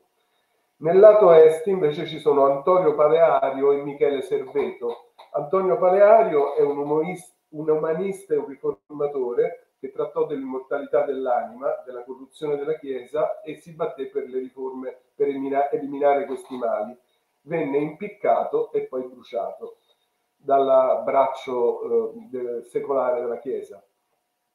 Mentre Michele Serveto, vissuto nel XVI secolo, era un teologo umanista spagnolo che fu condannato a rogo a Ginevra dai calvinisti. In particolare lo stesso Calvino si batté per deca- decapitarlo lui personalmente, però non la spuntò e quindi venne arso sul rogo. Eh, pensate, la scelta di questo personaggio serviva anche a non fare della Chiesa cattolica il solo bersaglio del significato generale di questo monumento, ma eh, l'intolleranza religiosa e eh, la, la, lotta per il libero pensiero in generale. Sopra questi due personaggi c'è una formella con Giordano Bruno che eh, sta per essere condotto davanti al, Santu, al Sant'Uffizio per subire il processo. Nel lato sud, invece, ci sono personaggi che condivisero le critiche del protestantesimo contro la Chiesa di Roma. Erasmo da Rotterdam, che non ha bisogno di presentazioni, autore dell'Elogio della Follia, i cui libri furono bruciati a Milano. E Giulio Cesare Vanini, che fu un erudito antipapista, divenuto anglicano in Inghilterra e poi ebbe una vita piena di peripezie e finì la sua vita a Tolosa in Francia. Tra l'altro non era stato nemmeno riconosciuto, ma per le sue affermazioni venne, eh, gli venne tagliata la lingua, fu strangolato e poi arso sul rogo. Il ritratto di Vannini contiene una sorpresa, una figura molto più piccola che non era stata riconosciuta da nessuno, fino al 1991 quando lo storico svedese Lars Berggren si accorse che si trattava di Martin Lutero, quindi c'è un, un piccolo ritratto di Lutero nascosto nel ritratto di, eh, di Vanini. Sopra eh, questi due personaggi, sopra Erasmo da Rotterdam e Vanini, c'è eh, un'altra formella con Giordano Bruno che eh, dibatte, che insegna a Oxford in Inghilterra. Infine sul lato ovest ci sono i sostenitori di una chiesa libertaria, cioè Tommaso Campanella e Paolo Sarpi. Ricordo, cioè Tommaso Campanella, Campanella, come Erasmo da Rotterdam, non ha bisogno di presentazioni, autore della Città del Sole, si batté per una società ugualitaria e una chiesa libertaria, fu torturato e poi messo in prigione per 27 anni. E invece Paolo Sarpi, eh, vissuto tra il 1552 e il 1623, è un teologo, scienziato e storico che difendette Venezia dalle ingerenze della Chiesa e apparteneva all'ordine dei servi di Maria.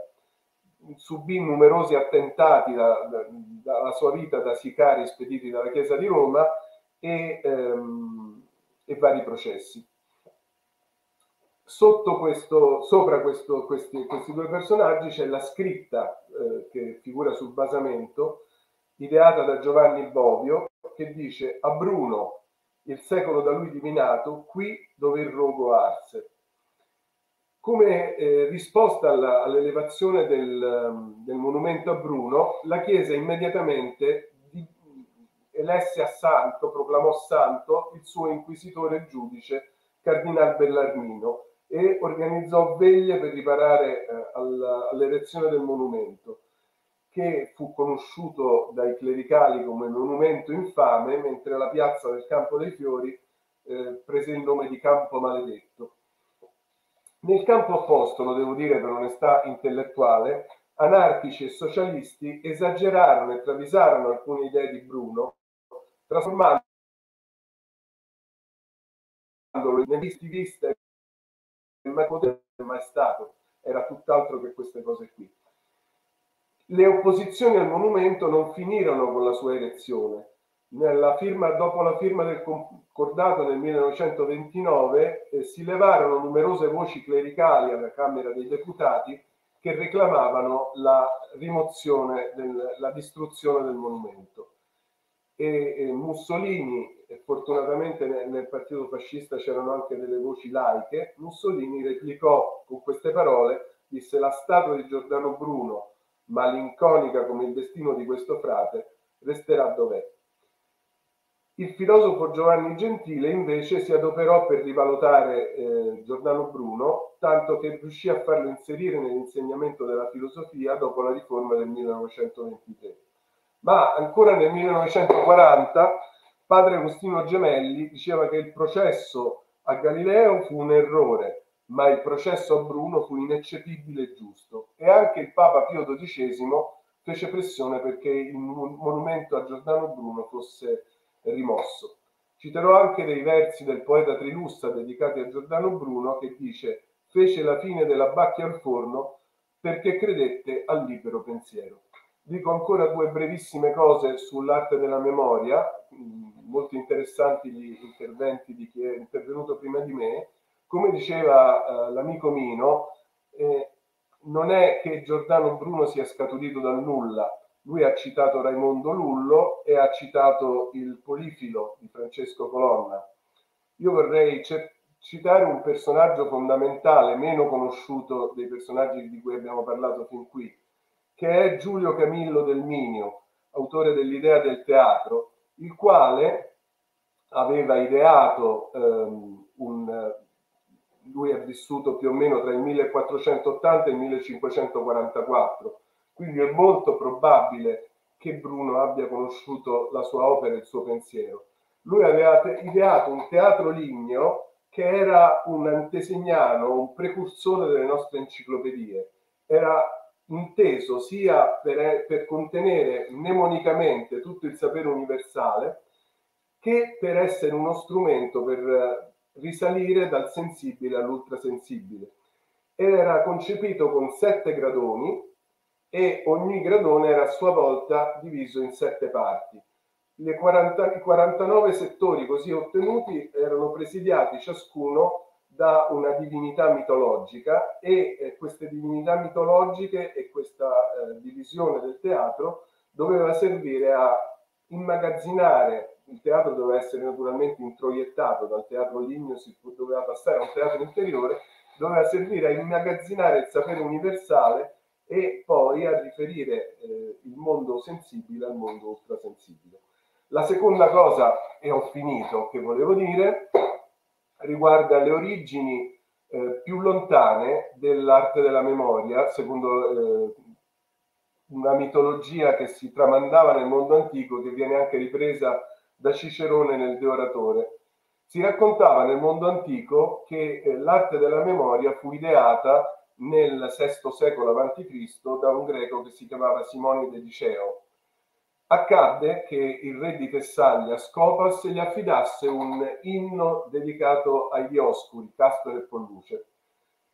Questo Simonide di Ceo eh, si presentò a un banchetto in, nel palazzo del re e declamò questo inno ai Dioscuri. E il re lo rimproverò che l'inno era stato troppo lungo e che eh, Simonide di Ceo era stato logorroico e disse io ti pago solo la metà, l'altra metà fatela pagare da Castro e Polluce.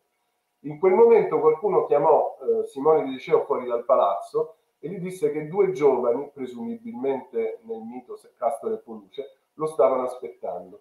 Appena uscì dal palazzo, il palazzo crollò travolgendo il re, Scopas e tutti i partecipanti al banchetto. Quando le macerie vennero rimosse, nessuno era più riconoscibile e allora Simone De Diceo dette prova della sua straordinaria abilità dando un nome a ciascuna delle persone travolte dal crollo sulla base del fatto che eh, la posizione occupata nel banchetto era stata da lui perfettamente memorizzata nonostante quelle persone fossero tantissime e, eh, e quindi si ricordava perfettamente eh, data la posizione l'identità di quelle persone che erano state così riconosciute. Così questo è il, diciamo, l'episodio fondante che ha a che fare con i Dioscuri, gemelli Castro e Polluce della, dell'arte della memoria. ho concluso il mio intervento e vi ringrazio. Grazie, grazie Alessandro di, di averci fornito delle informazioni anche storiche, magari poco, poco conosciute. A te Rosanna. Grazie Alessandro Orlandi, adesso passiamo la parola a Sigfrido Obel.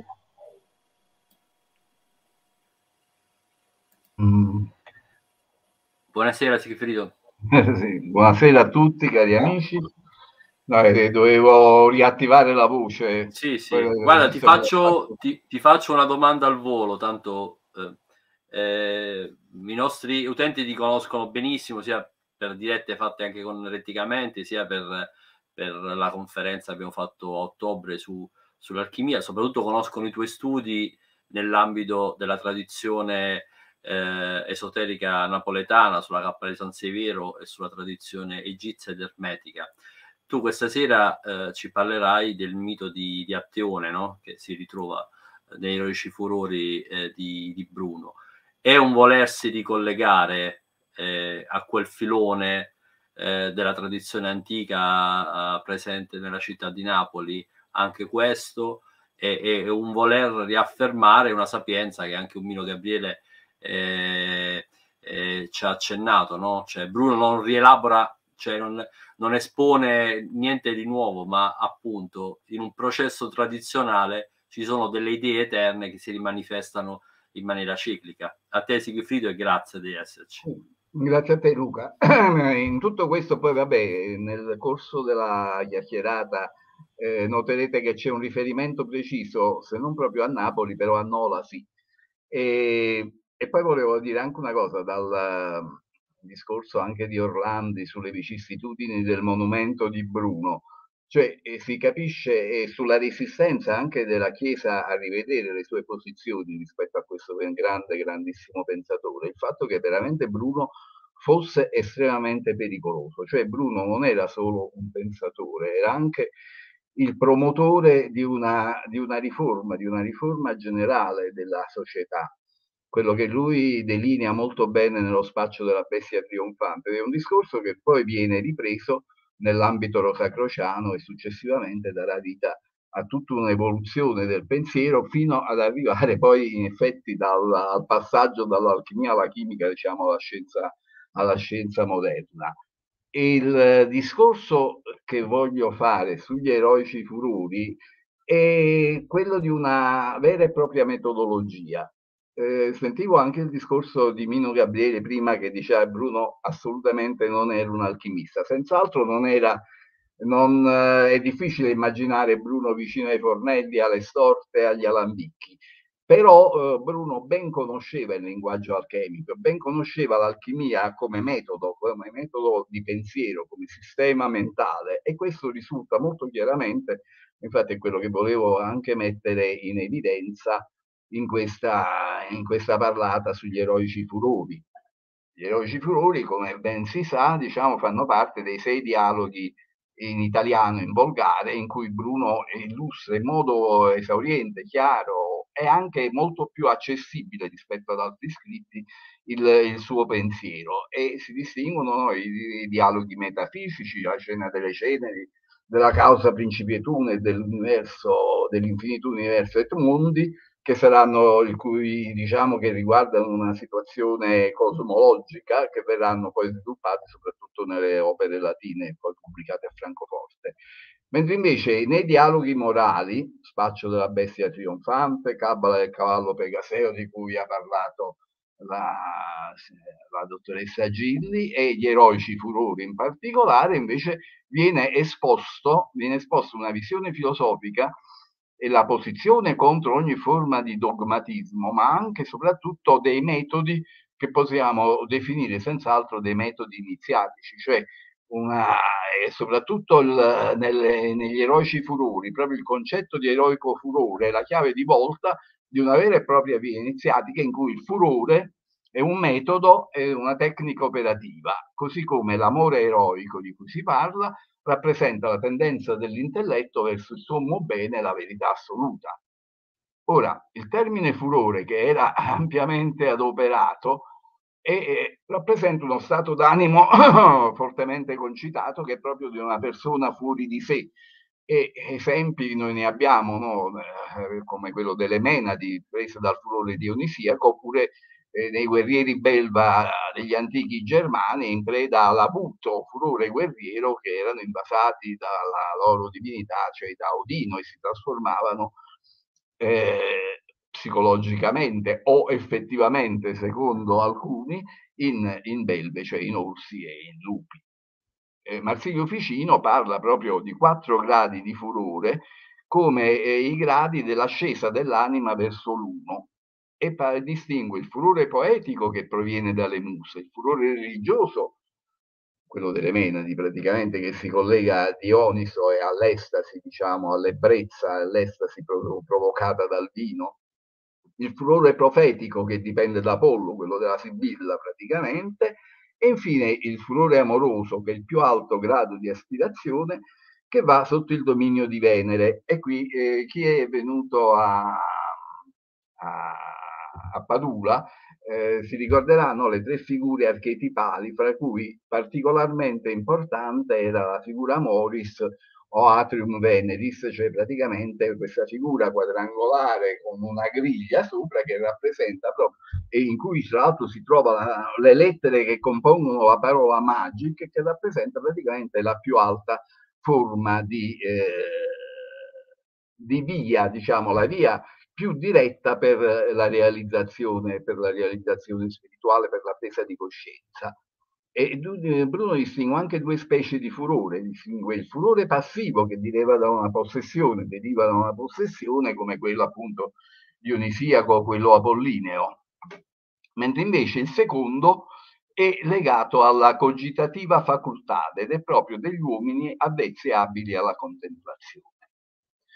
E poi Bruno eh, dice che i furori di cui lui ragiona, e questo è molto importante, non sono oblio, ma una memoria. Non sono negligenze di se stesso, ma amori e brame del bello e del buono con cui si procura farsi perfetto con trasformarsi e assomigliarsi a quello.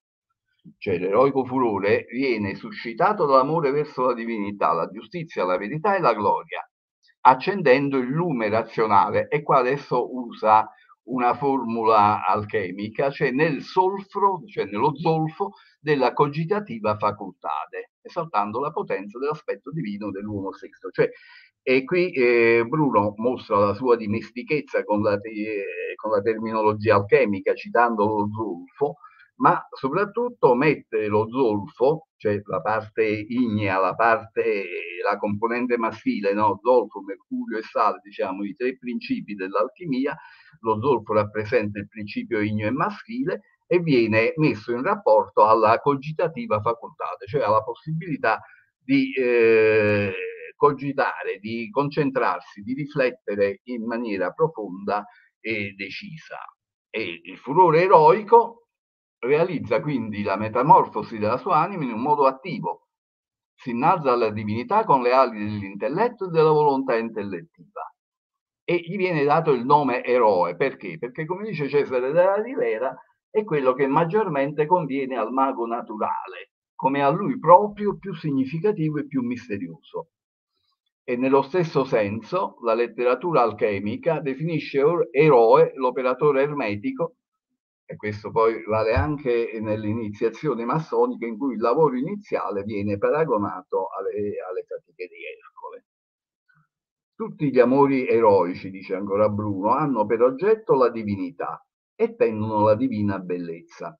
Pertanto l'amore è la concentrazione e l'orientamento del pensiero necessari alla realizzazione spirituale, cioè la cogitativa la, la, capacità di concentrarsi, l'amore del furioso eroico come il fuoco, e qua abbiamo di nuovo una formulazione di tipo alchemico, come il fuoco converte la cosa amata nell'amante.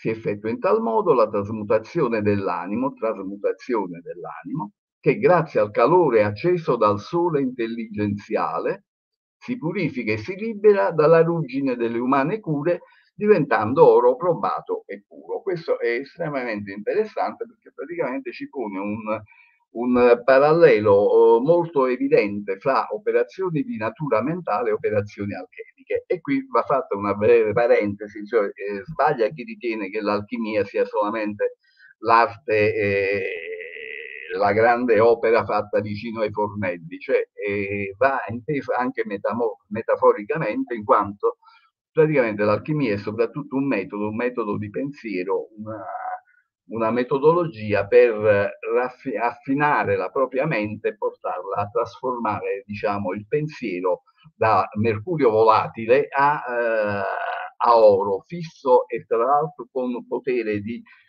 diciamo, il potere attribuito alla pietra filosofale di trasmutare gli altri, quindi qua assume anche una, una valenza che potremmo dire di natura politica e sociale. Quindi l'alchimia va ben al di là, diciamo, di quella che è la, la pratica spagirica, la pratica di laboratorio, a cui pure eh, si dedicava, che era molto popolare all'epoca di Bruno, ma anche considerata con una certa sufficienza per quanto riguardava gli aspetti pratici fatti da persone che poi non fossero in realtà dei filosofi, ma solamente degli, dei soffiatori, degli sperimentatori con le materie. I gradi di perfezione attraverso i quali si giunge a quel centro infinito, anche qui è bello perché è paradossale, il centro infinito, il quale non è formato né forma. E quindi questi gradi della perfezione, che sono i gradi della contemplazione, sono come i gradi della luce, per cui dalle tenebre si giunge alla luce sola solare attraversando i diversi colori. Anche qui noi abbiamo il parallelo con l'operazione alchemica, quindi con il passare, diciamo, la, la partenza dall'opera al nero, cioè dalle tenebre, quindi alla, al passaggio attraverso i vari colori, i colori diciamo della, che appaiono durante la fase di cottura, fino a giungere alla luce solare, quindi alla realizzazione spirituale. Questi gradi della perfezione partono dalla percezione sensoriale, poi arrivano all'immaginazione. Immaginazione non è solo oh, la fantasia, l'immaginazione è la capacità di creare immagini mentali, cioè, e questo poi si lega all'arte della memoria, cioè noi dobbiamo essere capaci di evocare delle immagini in noi stessi, quindi anche se non abbiamo il disegno davanti a noi, dobbiamo saperlo costruire mentalmente abbiamo poi la ragione, cioè la capacità di ragionare, di creare i nessi, di vedere le analogie, quindi diciamo di speculare, di indagare su ciò che abbiamo immaginato e su ciò che abbiamo percepito. Abbiamo poi l'intelletto che invece la capacità di cogliere dei nessi più precisi e infine la mente o intelletto superiore, la figura mentis delle tre figure archetipali, che è l'anima che tutta si converte in Dio e abita il mondo intellegibile, quindi dove eh, indica proprio la trasmutazione avvenuta nell'uomo. E questo processo poi richiede tre preparazioni, anche queste sono paragonabili ai tre gradi iniziatici comunemente eh, adottati, in cui l'attenzione deve essere prima distolta dalle cose inferiori, poi applicate applicata alle specie superiori, quindi al rapporto analogico fra ciò che è in alto e ciò che è in basso, per giungere infine a cattivare tutta la volontà ed affetto a Dio. Ovviamente questa non è una mm, formulazione di carattere religioso. Quando si parla di Dio, cioè eh, il Dio per Bruno è la, è la luce dell'intelletto, cioè la divinità interiore, il fuoco che l'uomo accende in sé e gli eroici furori sono pertanto un'opera dedicata in modo evidente alle esperienze iniziatiche, ai suoi principi e ai suoi metodi. E come fa Bruno a, eh, diciamo, a esporre questa sua visione? Ovviamente lo fa in un modo estremamente efficace ed è un testo in cui si alternano, a parte le parti discorsive, si alternano poi dei sonetti e contemporaneamente degli emblemi, ovvero delle immagini simboliche che però non sono in quest'opera in particolare rappresentate graficamente, sono però descritte e sono accompagnate da detti esplicativi, per cui anche se non abbiamo la realizzazione grafica, noi possiamo veramente ritenere che gli eroici furori siano un vero e proprio libro di emblemi. E l'emblema era una forma, diciamo, simbolica molto in voga nel, nel, Rinascimento e si trattava di una immagine accompagnata in genere da una scritta, da un epigramma, da una, da una breve, diciamo, anima, si chiamava, il corpo era l'immagine, l'anima era una breve frase che dava un significato, che sottolineava il significato dell'immagine. Ora, il tema centrale del, degli eroici furori è il mito, eh, è simboleggiato dal mito di Attaone, Ateone. Questo lo conoscete tutti sicuramente, il cacciatore che sorprende Diana mentre insegue un cervo, si imbatte in, una, in, una, in uno stagno, una sorgente, nelle cui acque si sta bagnando Diana, la quale ovviamente irritata da, essere, da, da questa violazione della della sua intimità lo trasforma in cervo e a questo punto Ateone diventa preda dei suoi stessi cani. In, in, in un'altra opera, nello spaccio della bestia trionfante, Bruno assimila i sacerdoti della dea, cioè di Diana, al mitico cacciatore.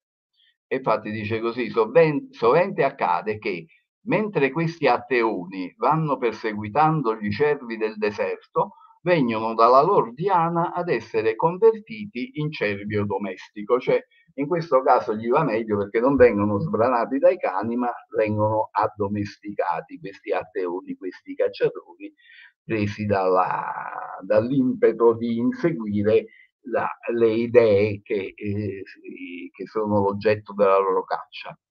Eh, una cosa carina, le formule magiche la formula magica che pronuncia Diana per operare la trasformazione di Atteone, eh, che prima gli soffia sul viso, poi gli getta addosso l'acqua della fonte e poi praticamente noi ritroviamo proprio la, le cadenze degli incantamenti della magia popolare e che rivelano però anche proprio il senso profondo di questa metamorfosi. Lasciaste la tua stanza e la bestia seguitaste con tanta diligenza addietro gli corresti, che medesimo in sustanza compagna te gli festi. Amen. E il calciatore di Ateone, poi precisa ancora Bruno, rappresenta l'intelletto intento alla caccia della divina sapienza, alla apprensione della beltà divina.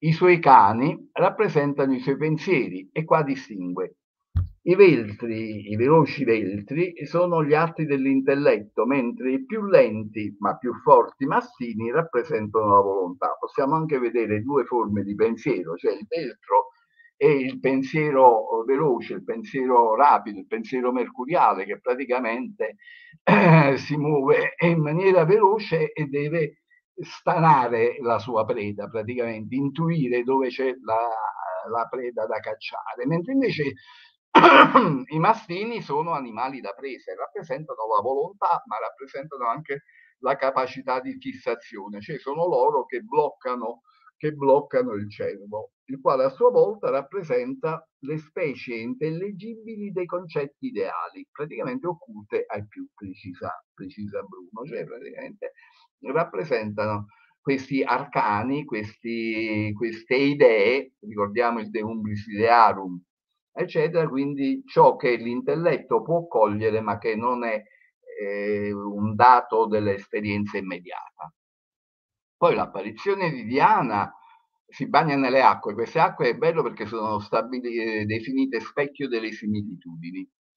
Indica la fase, anche qui troviamo un rapporto con l'alchimia, indica la fase della grande opera detta albedo, cioè l'apparizione del bianco, quando dopo le tenebre dell'opera al nero inizia ad apparire l'argenteo chiarore lunare e quindi segno che eh, è avvenuta la purificazione della materia filosofale. Questo che cosa significa? Praticamente si, la, la, materia su cui si opera, che possiamo anche eh, ritenere che sia una materia mentale, è stata liberata dalle ruggini, come abbiamo detto prima, cioè dagli elementi superflui, e praticamente noi arriviamo alla, alla chiarezza, cioè riusciamo a riflettere, perché poi praticamente la figura di Diana e dell'albedo si collega allo specchio, si collega al bianco, si collega alla sfera lunare, quindi alla sfera del pensiero, riusciamo a speculare e a riflettere sull'oggetto della, della nostra ricerca.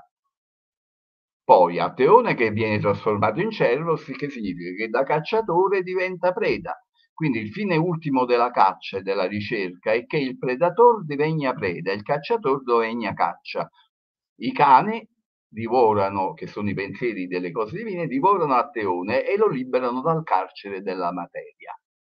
L'operazione dell'intelletto con cui converte le cose apprese in sé questo è il senso del tutto, cioè il ricercatore si identifica con l'oggetto della sua ricerca e questo fa pensare pure alle pratiche zen, il tiro con l'arco e cose di questo genere, cioè essere l'entrare profondamente nel, nell'oggetto diciamo del proprio studio, della propria ricerca, che sia spirituale o intellettuale.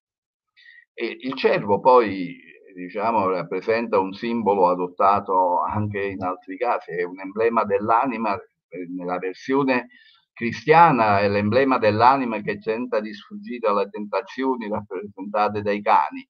Nella leggenda di Sant'Eustachio invece il cervo inseguito si identifica con Cristo e qua troviamo una un'analogia con il ragionamento di Bruno, cioè il cacciatore Eustadio che inseguiva questo cervo, il cervo poi gli si manifesta come Cristo e quindi avviene questa identificazione, che in questo caso è la conversione del cacciatore nella, nella figura del Cristo.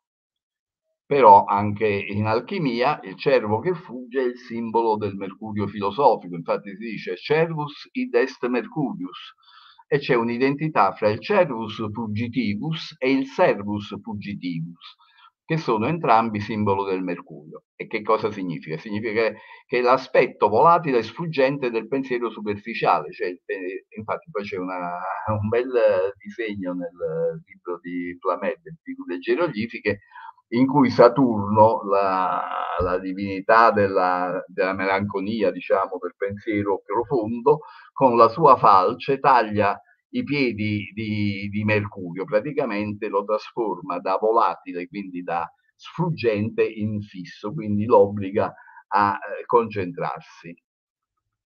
Inoltre, eh, come simbolo mercuriale, chiaramente anche in questo caso, anche nella simbologia alchemica viene identificato con l'anima. Infatti nel, nel libro de, sulla pietra filosofale di Lamspring eh, vengono mostrate queste due immagini del, dell'unicorno e del cervo, in cui l'unicorno rappresenta lo spirito e il cervo l'anima. Quindi il cacciatore a questo punto identificato con il cervo e con l'intelletto, sbranato dai cani e sbranato dai suoi stessi pensieri, muore, come dice Bruno, al mondo pazzo, sensuale, cieco e fantastico ed inizia a vivere intellettualmente, a vivere la vita degli dei. La visione di Diana è l'episodio scatenante, dal momento in cui si, il momento rappresenta in cui si innesta il processo di ascesa dell'intelletto cacciatore e con questo episodio Bruno allude, e questo è quello che vi dicevo all'inizio, alla sua stessa esperienza iniziatica. Infatti poi Bruno dice, afferma infatti di aver volentieri accettato il gioco di Diana, splendor di specie intellegibili, cacciatrice di sé, che tra la moltitudine delle altre specie di forme o idee lo ha legato a sé, grazie a quello ingegno e spirito che si mostrò a Nola, che giace sul piano dell'orizzonte campano.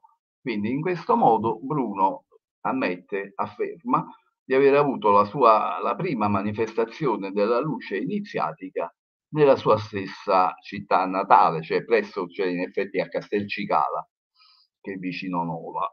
E poi, vabbè, finiamo con una citazione di Bruno, certo che è meglio, che meglio è una degna ed eroica morte che un indegno e vil trionfo, cioè raggiunta questa chiarezza, raggiunta questa realizzazione spirituale, vale più la pena di, di fare una morte eroica come in realtà ha fatto che non venir meno al suo pensiero, perché chiaramente il pensiero di Bruno ha avuto un peso realmente decisivo in quella che è stata poi l'evoluzione dell'Occidente.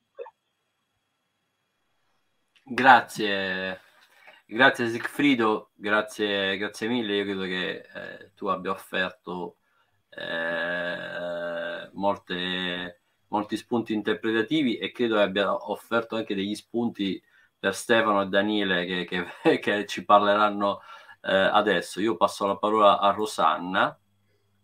Grazie Sigfrido Obel. Adesso passiamo la parola a Stefano Maiorca.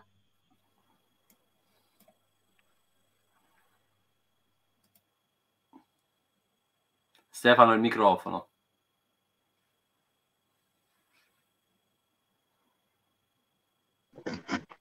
Ecco. Dicevo buonasera, intanto volevo ringraziare tutti gli amici che mi hanno preceduto e anche quelli che parleranno dopo di me e ringraziare anche chi ci sta seguendo.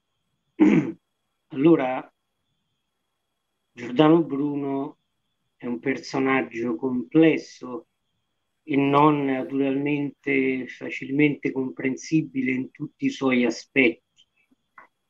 Ed era anche uno dei massimi sacerdoti egizi di quell'epoca, legato alla sapienza nilense, a quella cumana, perché, come sappiamo, nella città partenopea, se non sbaglio, nel secondo secolo d.C., si insediò una, una come dire, colonia di egizi alessandrini che edificarono anche, oltre alla famosa statua del Dionino, un tempio legato alla dea Iside e lì ritualizzavano con pratiche riservate. Quindi è un po' un erede di questa, eh, di questa diciamo, riservata sapienza. Ora, nel suo De Magia, una delle opere che io amo in particolare, si percepisce chiaramente la natura occulta, comunque le conoscenze di Bruno anche riguardo ai geroglifici e alla magia cerimoniale. E qui chiaramente eh, leggerò poche righe, poche righe, scusate che lo riguardo. E Bruno dice, per indicare le singole cose specifiche, immagini ricavate dalle cose di natura o da parti di esse, impiegate per parlare agli dei onde operare meraviglie. Quando Teut o un altro inventò lettere del genere che oggi usiamo con impiego diverso, si attuò la massima dispersione sia della memoria sia della scienza della magia, perciò imitando gli egizi, oggi i maghi fabbricate immagini, descritti caratteri e cerimonie consistenti in specifici riti e gesti, esprimono il loro voto quasi con determinati cenni e si tratta della lingua perduta degli dei. Quindi è un accenno abbastanza eh, chiaro alla magia cerimoniale. E ora veniamo a quelli che sono i collegamenti con l'altro filosofo e mago Tommaso Campanella. Infatti Bruno scrive, due sono le spezie di numeri, cupidi, superiore e divino, inferiore e volgare. Doi sono i principi essenziali delle cose, la materia e la forma. Due le specifiche differenze della sostanza, raro e denso, semplice e misto. Doi primi contrari e attivi principi, il caldo e il freddo. E qui appunto si ricollega al discorso di Tommaso Campanella, di cui poi vedremo il famoso rituale desiderali fato di tanto legato a scongiurare gli aspetti negativi dell'eclissi. Infatti anche Campanella parla dei suoi tre principi di cui è composta la natura la materia caldo e freddo come affermava lo stesso Giordano Bruno. E lui dice Dio prima fece lo spazio composto pure di potenza, sapienza e amore, e dentro a quello pose la materia che è la mole corporea. Nella materia poi Dio seminò due principi maschi, cioè attivi, il caldo e il freddo, perché la materia e lo spazio sono femmine, principi passivi, e questi maschi da cotesta materia divisa, combattendo, formano due elementi, cielo e terra. Ci sono anche chiaramente dei eh, riferimenti alla tavola alla tabula Zarati, tavola smaragdina, smaragdina o tavola di smeraldo di Ermete Trismegisto in quel postulato appunto che dice così in basso come in alto, così in alto come in basso per creare il mistero della cosa una. e quindi come abbiamo detto Campanella era un mago, adesso come vedremo. Infatti eh, lui parla anche dell'astrologia, infatti dice frustra Deus nobis astrologiam dedisset nisi etiam prodesset. Dice invano Dio ci avrebbe donato l'astrologia se l'uomo non coltivasse questo dono e lo utilizzasse. Ma c'è anche un altro aspetto interessante che è quello legato alle primalità. Per cui lui spiega che non esiste solo un corpo materiale e che la medicina ermetica non deve intervenire solo sul corpo materiale ma anche sulle primalità. E le primalità rappresentavano per Campanella quella che è la struttura sottile, riprendendo anche il discorso della medicina pitagorica, quella egizia e in tempi più vicini a noi la teleurgia legata al percorso miriamico di Giuliano Kremers. E qui entriamo appunto nel desiderali fato di Dando, che è questo rito legato a eliminare gli aspetti negativi delle eclissi e che lui aveva più volte praticato in favore del Papa Urbano VIII. E qui dice, devitandis malis ab eclipsi imminentibus, cioè come evitare tutti gli aspetti negativi legati a un'eclisse che sta per arrivare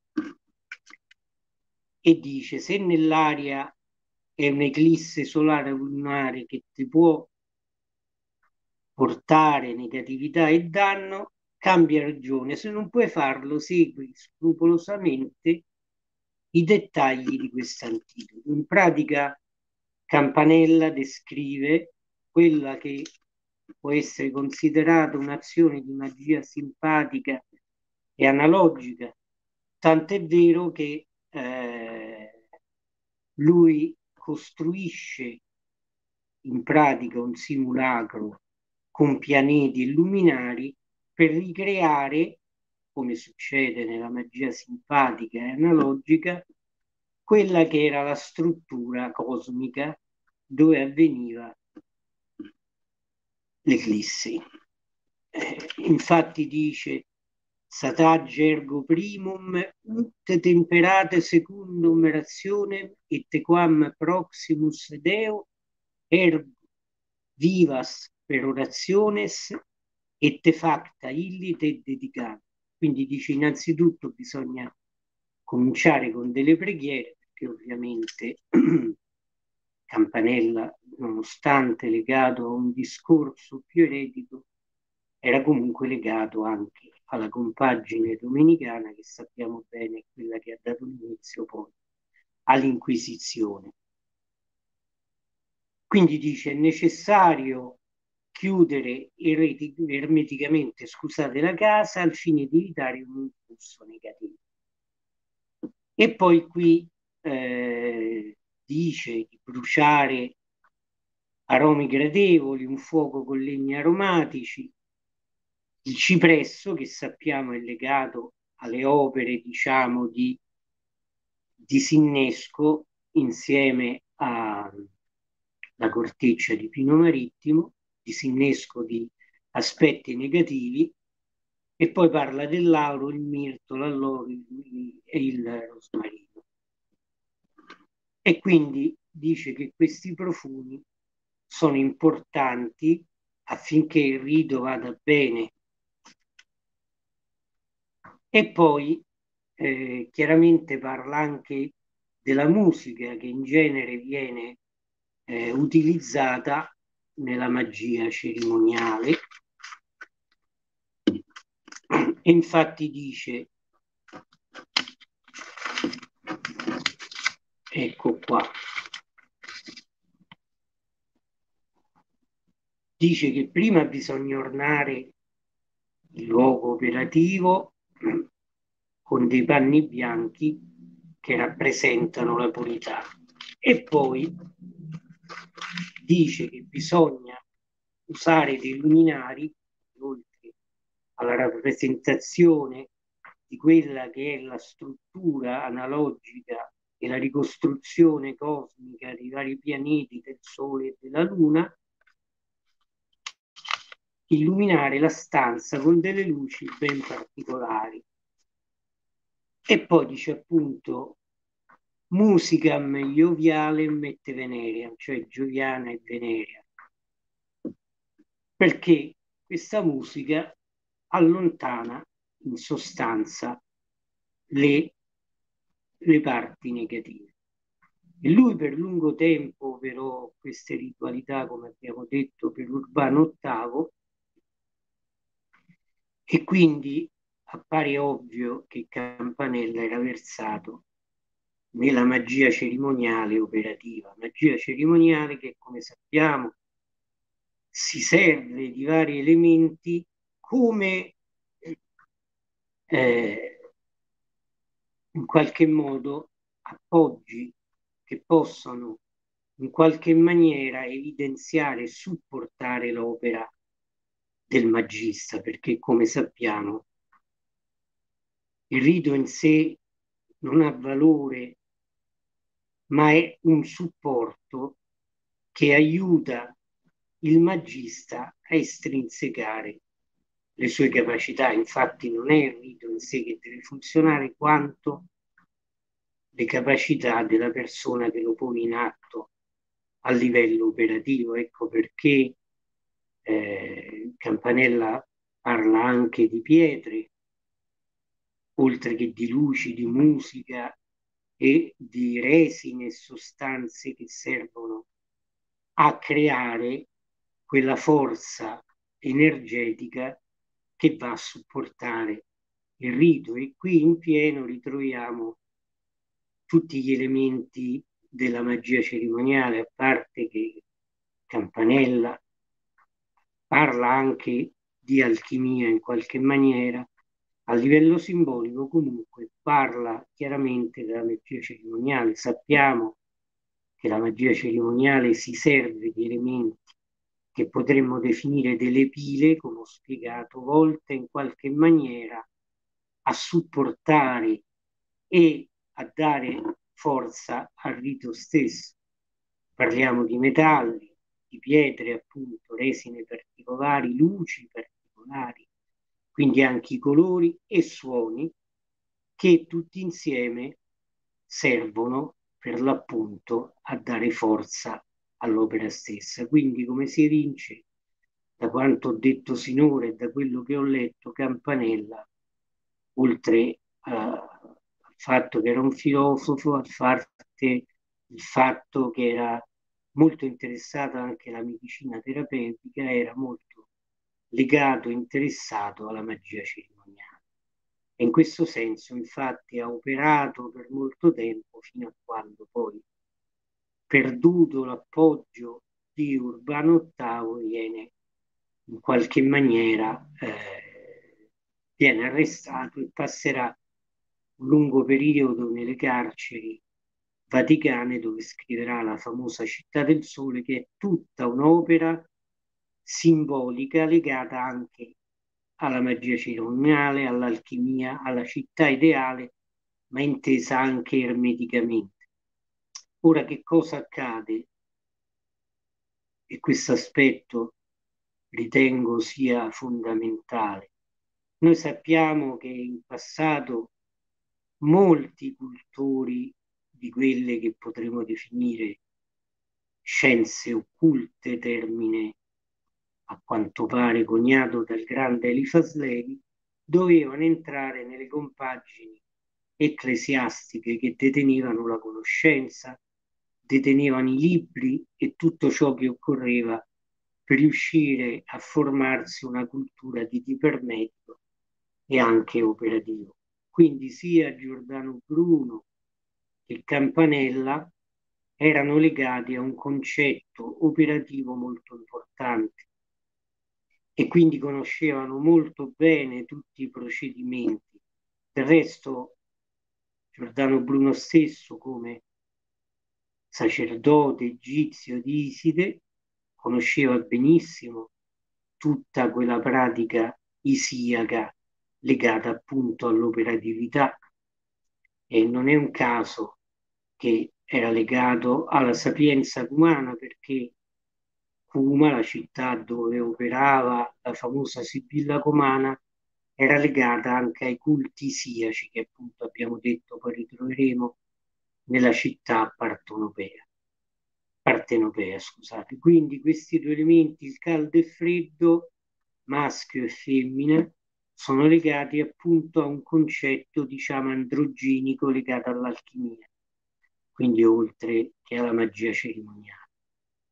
Quindi ci sono molti elementi che collegano Giordano Bruno a Campanella, o se vogliamo Campanella a Giordano Bruno, e sono tutti elementi di tipo operativo. E non è un caso che Giordano Bruno parla delle cifre egizie, della magia appunto che veniva espletata anche attraverso le cifre, i segni, i gesti, i cenni, perché è proprio della magia cerimoniale. La ritroviamo anche in un contesto ermetico, anche quello cremersiano, ma nella magia cerimoniale diciamo che hanno un aspetto più profondo e importante. Quindi l'apporto di Giordano Bruno a quella che è una conoscenza di determinate pratiche è veramente importante come ho detto al principio, non è facile comprenderlo nella sua totalità perché era avanti anni luce quando praticamente operava a livello filosofico, legato a tutte le opere che ci ha lasciato, che è inutile elencarle perché è già stato fatto. E quindi nel De Magia lascia proprio un'impronta ben precisa che fa comprendere la sua conoscenza profonda delle pratiche magiche. E così lo stesso Campanella, che appunto per un lungo periodo fu protetto da Urbano VIII finché il Papa poté farlo, l'unica differenza è che Giordano Bruno fu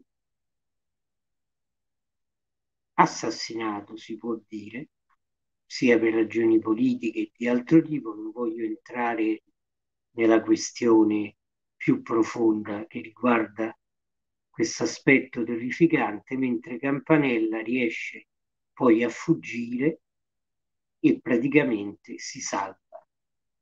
Vi ringrazio per l'attenzione. Grazie Stefano.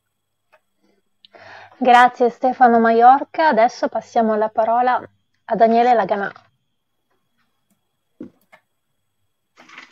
Buonasera, allora, buonasera a tutti. Luca.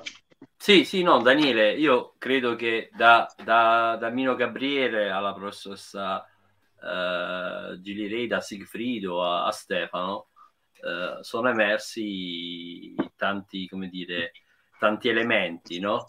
Eh, però credo che un, un filo conduttore sia, sia emerso. Un, in primis eh, una differenziazione nell'ambito eh, del, del semantema magia, no? Cosa si intenda per magia. Io ho sempre in mente eh, l'insegnamento di, di, Gabriele Laporta, eh, in cui, riferendosi a Bruno, eh, separava la magia in senso eh, deteriore e, e, e Vino Gabriele ha usato il termine, eh, come dire, magia nera per farci intendere l'aspetto, come dire, quasi eh, stregonico, da una vera e propria eh, magia immaginativa.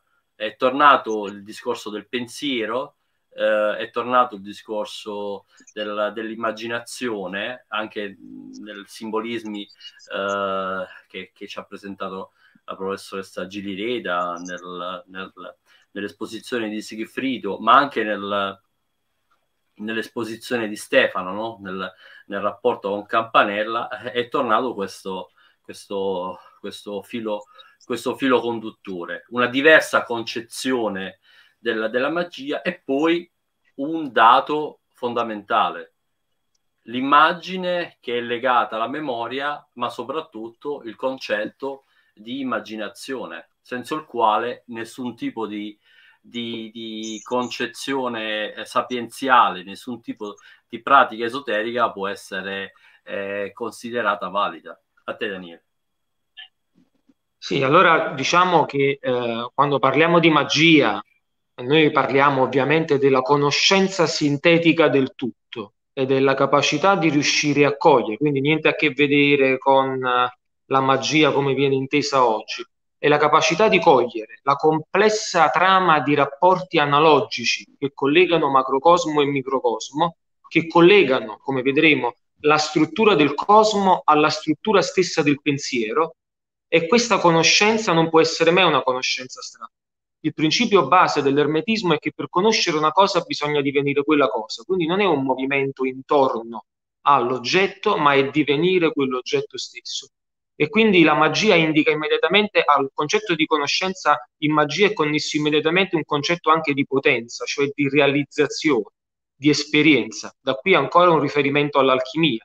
Gli alchimisti ripetevano post laborem scienza, cioè la conoscenza non precede l'esperienza, ma la conoscenza è esperienza direttamente, nasce immediatamente come esperienza. Allora, io prima di entrare in questo tema molto velocemente, eh, volevo sottolineare una cosa, è stato già detto che Giordano Bruno si trova a vivere in un'epoca di passaggio eh, e lui ne era pienamente cosciente. Io eh, credo francamente che il, suo rogo sia un, um, un sacrificio che lui compie volontariamente. A un certo punto io credo che lui abbia compreso una cosa, che mentre il mondo che lui vedeva dinanzi a sé era afflitto nell'ultima parte di questa antica civiltà, perché noi possiamo considerare Bruno come l'ultimo degli antichi, ma il primo dei moderni. Quindi in questo momento di passaggio fondamentale, eh, Giordano Bruno sia cosciente di quanto in quel momento il dogmatismo trasformato in fanatismo stava insanguinando l'Europa e il mondo e quindi lui a un certo punto quasi volontariamente rimanendo fedele a se stesso, rimanendo fedele fino all'ultimo, fino all'estremo sacrificio, all'idea della ricerca della libertà, ecco che Giordano Bruno offre il suo sangue. E guardate che offrire il sangue, il sangue di un innocente, no? in un sacrificio, ha proprio il compito quasi alchemico di una trasmutazione delle cose e del mondo intorno a sé. No? In questo lo possiamo vedere anche nel concetto cristico, che appunto il sangue di un uomo puro, di, un, di, una, di una divinità, un fatta uomo che viene sulla terra per in qualche modo trasformare il peccato e quindi lo fa attraverso questa offerta del sangue, questo sacrificio estremo. Bene, allora eh, il tempo, perché è l'ultimo degli antichi, il primo dei moderni? È l'ultimo degli antichi perché in lui ancora permane una conoscenza cosmologica vivente, cioè il cosmo era un'entità vivente, Diana che si specchia nuda nell'acqua. Ma dall'altra parte in lui comincia ad affermarsi il concetto del soggetto, dell'identità della coscienza.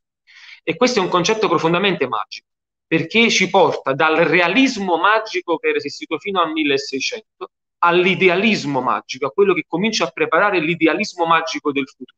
Quindi ci porta verso quel tipo di realizzazione in cui dai grimori antichi in cui la magia era nelle cose, negli astri, nelle pietre, che quindi aveva la capacità di influenzare sull'uomo, in questo momento invece da, da Giordano Bruno lui comincia a intravedere una possibilità che poi verrà realizzata sempre più avanti nel tempo e che la stessa scienza moderna, con la fisica quantistica, arriverà a riconoscere, il centro di tutto è dato dalla coscienza, dal pensiero. E qui ci sono le parole di, di Zolla, no? che dice eh, causa remota della morte spirituale dell'Occidente fu l'incapacità di capire che cosa sia e che cosa significhi l'immaginazione. E vediamo quanto in questo c'è proprio la modernità la, di Giordano Bruno e quanto sia importante per noi oggi recuperare il significato profondo Bruno muore all'alba del 1600, 17 febbraio del 1600, poco dopo arriverà il cogito ergo sum cartesiano, che in qualche modo segna il passaggio più basso della caduta dell'uomo nell'identificazione della sua parte spirituale e cosciente nel corpo fisico, ma anche paradossalmente, in quanto ultimo gradino della discesa, dell'identificazione della coscienza con la riflessità cerebrale del pensiero, anche il primo della risalita, perché lì comincia a formarsi il concetto dell'autocoscienza. Nel 1616 a Parigi appariranno i manifesti rosacrociani e noi sappiamo che, eh, da quello che ci dice Steiner, appunto c'è il passaggio, questo indica questo passaggio, l'apparizione dei manifesti rosacrociani, tra l'antica iniziazione, appunto il realismo magico, e la nuova iniziazione, cioè l'idealismo magico, dove il centro di tutto non è più nelle cose, nel cosmo intorno a sé, ma è nella coscienza, nella capacità del pensiero di riuscire a percepire le cose. Ebbene, allora Giordano Bruno non è tanto il martire del, del, del libero pensiero, ma piuttosto è il filosofo del pensiero libero. E non è un gioco di parole, ma una, una cosa eh, molto importante, in quanto eh, Bruno non si è battuto tanto per la libertà del pensiero da un'autorità esterna, da un dogmatismo esterno. Bruno si è battuto anzitutto per la liberazione del pensiero da se stesso, da quei meccanismi inconsci che lo condizionano, che gli permet- che, che permettono, o meglio, che non permettono al pensiero di prendere coscienza della sua natura e della sua forza profonda. Tutta la mnemotecnica bruniana è una magia della immaginazione, è la capacità di imparare ad educare il proprio pensiero. Più importante della capacità di riuscire a riprodurre le cose è la capacità in se stessa di riuscire a comprendere attraverso l'immaginazione quella che è la natura profonda, la struttura profonda del pensiero, la sua materia. Questa materia è luce. Scrive Giordano Bruno nel Sigillus Sigillorum. Anzitutto lui già in precedenza ha specificato un concetto fondamentale dicendo non è dunque filosofo se non chi immagina e riproduce. E invece nel Sigillus Sigillorum dice proprio così. C'è una sola e semplice forma, la quale senza diminuzione si comunica a tutte le cose, questa forma universale dell'essere è luce infinita. Attraverso questa forma, che, in diversi modi, che in diversi modi si comunica ai diversi enti, secondo diverse figure, si esplica la materia. Ecco, vedete, Giordano Bruno a un certo punto dice che la chiave profonda del pensiero, ciò che il pensiero sperimenta in se stesso quando impara a conoscersi, possedendosi attraverso una dinamica, una disciplina, che è appunto quella dell'arte della memoria, quando riesce a percepire se stesso, ritrova la sua essenza fondamentale. L'essenza del pensiero, la sua essenza predialettica, per citare Massimo Scaligero, questa essenza predialettica è luce. E questa luce è la sostanza primordiale di tutte le cose. Se noi chiudiamo gli occhi e proviamo a guardare nel campo oscuro della nostra mente, noi vedremo i pensieri sotto forma di una luce che non è la luce fisica ma è una luce più sottile che gli alchimisti chiamarono astrale perché sfuggente, perché brilla nell'oscurità. Questa luce è la sostanza primordiale di tutte le cose. Questa luce è ciò che Shakespeare disse, appunto citavo prima Giordano Bruno, quindi la luce è l'essenza fondamentale no, di tutte le cose, e, e, e Shakespeare dirà non a caso, attraverso la sua intuizione poetica, che l'uomo è fatto della stessa sostanza di cui sono fatti sogni cioè l'uomo è fatto di questa luce invisibile, tutto è fatto di questa luce tutto in questa luce si può conoscere e sperimentare. Ed ecco allora che un pensiero educato all'arte della immaginazione, un pensiero capace di risalire attraverso un metodo preciso, impersonale, freddo, lucido, che permetta quindi al pensiero di conoscersi mentre si determina e si riproduce, il pensiero sperimenta se stesso, conosce se stesso. Questo è il grande segno della, dell'operatività magica e questo è il grande passaggio che conduce uh, a realizzare queste parole di un grande alchimista, Federico Gualdi, il quale dice vile è il raggio del sol che è fuggitivo, fisso, stringilo in polvere ed è tesoro. Ecco, qui si nasconde una chiave fondamentale e lo ricordava giustamente prima uh, Sigfrido Ober. Il concetto è proprio della, della mnemotecnica deve condurre uh, il cercatore a questo passaggio, a riuscire a fissare quella luce invisibile della mente che altrimenti andrebbe per i fatti suoi e diventerebbe quindi fantasia, una sterile fantasia che non produce niente, che genera i fantasmi, le illusioni del, del mondo lunare e crepuscolare, dove l'incerta luce della luna domina tutte le cose. Ma laddove invece il mago si esercita a padroneggiare questa luce invisibile, a ricostruire nel campo oscuro della propria mente come un artista, con fedeltà assoluta, con precisione, cesellando l'immagine in ogni dettaglio, riesce a plasmare questa luce invisibile, ecco che l'uomo in quel momento entra in contatto con l'essenza di tutte le cose e quindi può agire magicamente su di sé e sul mondo, in un senso trasmutativo. E quando si parla, quando Giordano Bruno scrive gli eroici furori, no? il concetto essenziale del furore è proprio questo. Come, eh, sempre come diceva prima Sigfrido, il, il furioso è colui che è fuori di sé, lo dice proprio la parola, no? È fuori di sé. Ma chi è fuori di sé? L'immaginazione.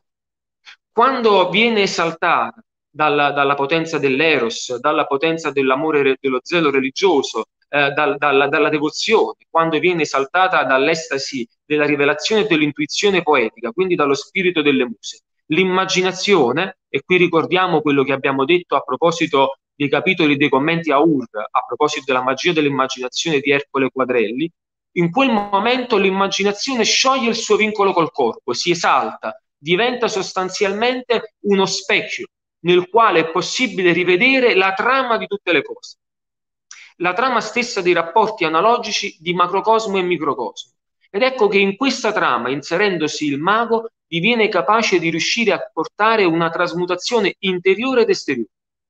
Questo è il punto essenziale della, della magia bruniana.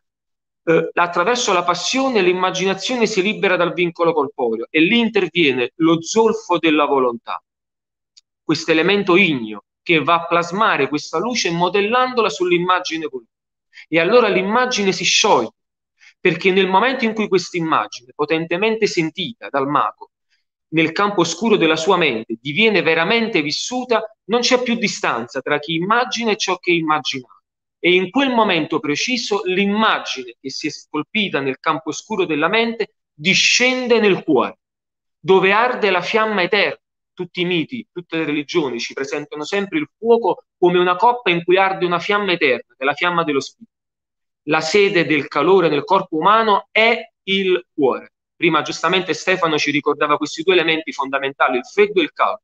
Se la mente è fredda ed è la grande cesellatrice delle immagini, il cuore è l'elemento caldo, quello che gli dà vita e quando l'immagine è perfettamente identificata, quando la coscienza del mago diviene la cosa immaginata, in quel momento l'immagine discende nella fiamma del cuore e lì sciogliendosi passa attraverso il, sangue a trasformare alla radice stessa quelli che sono i nostri corpi sottili e quindi permette al mago di accedere davvero a una conoscenza altra che non è più una conoscenza di chi contempla qualcosa dall'esterno, ma è la conoscenza di chi vive sperimenta perché la propria anima, trascendendo i limiti del corpo, può elevarsi fino a divenire tutt'uno, come nel mito di Atteone, con Diana, anima mundi.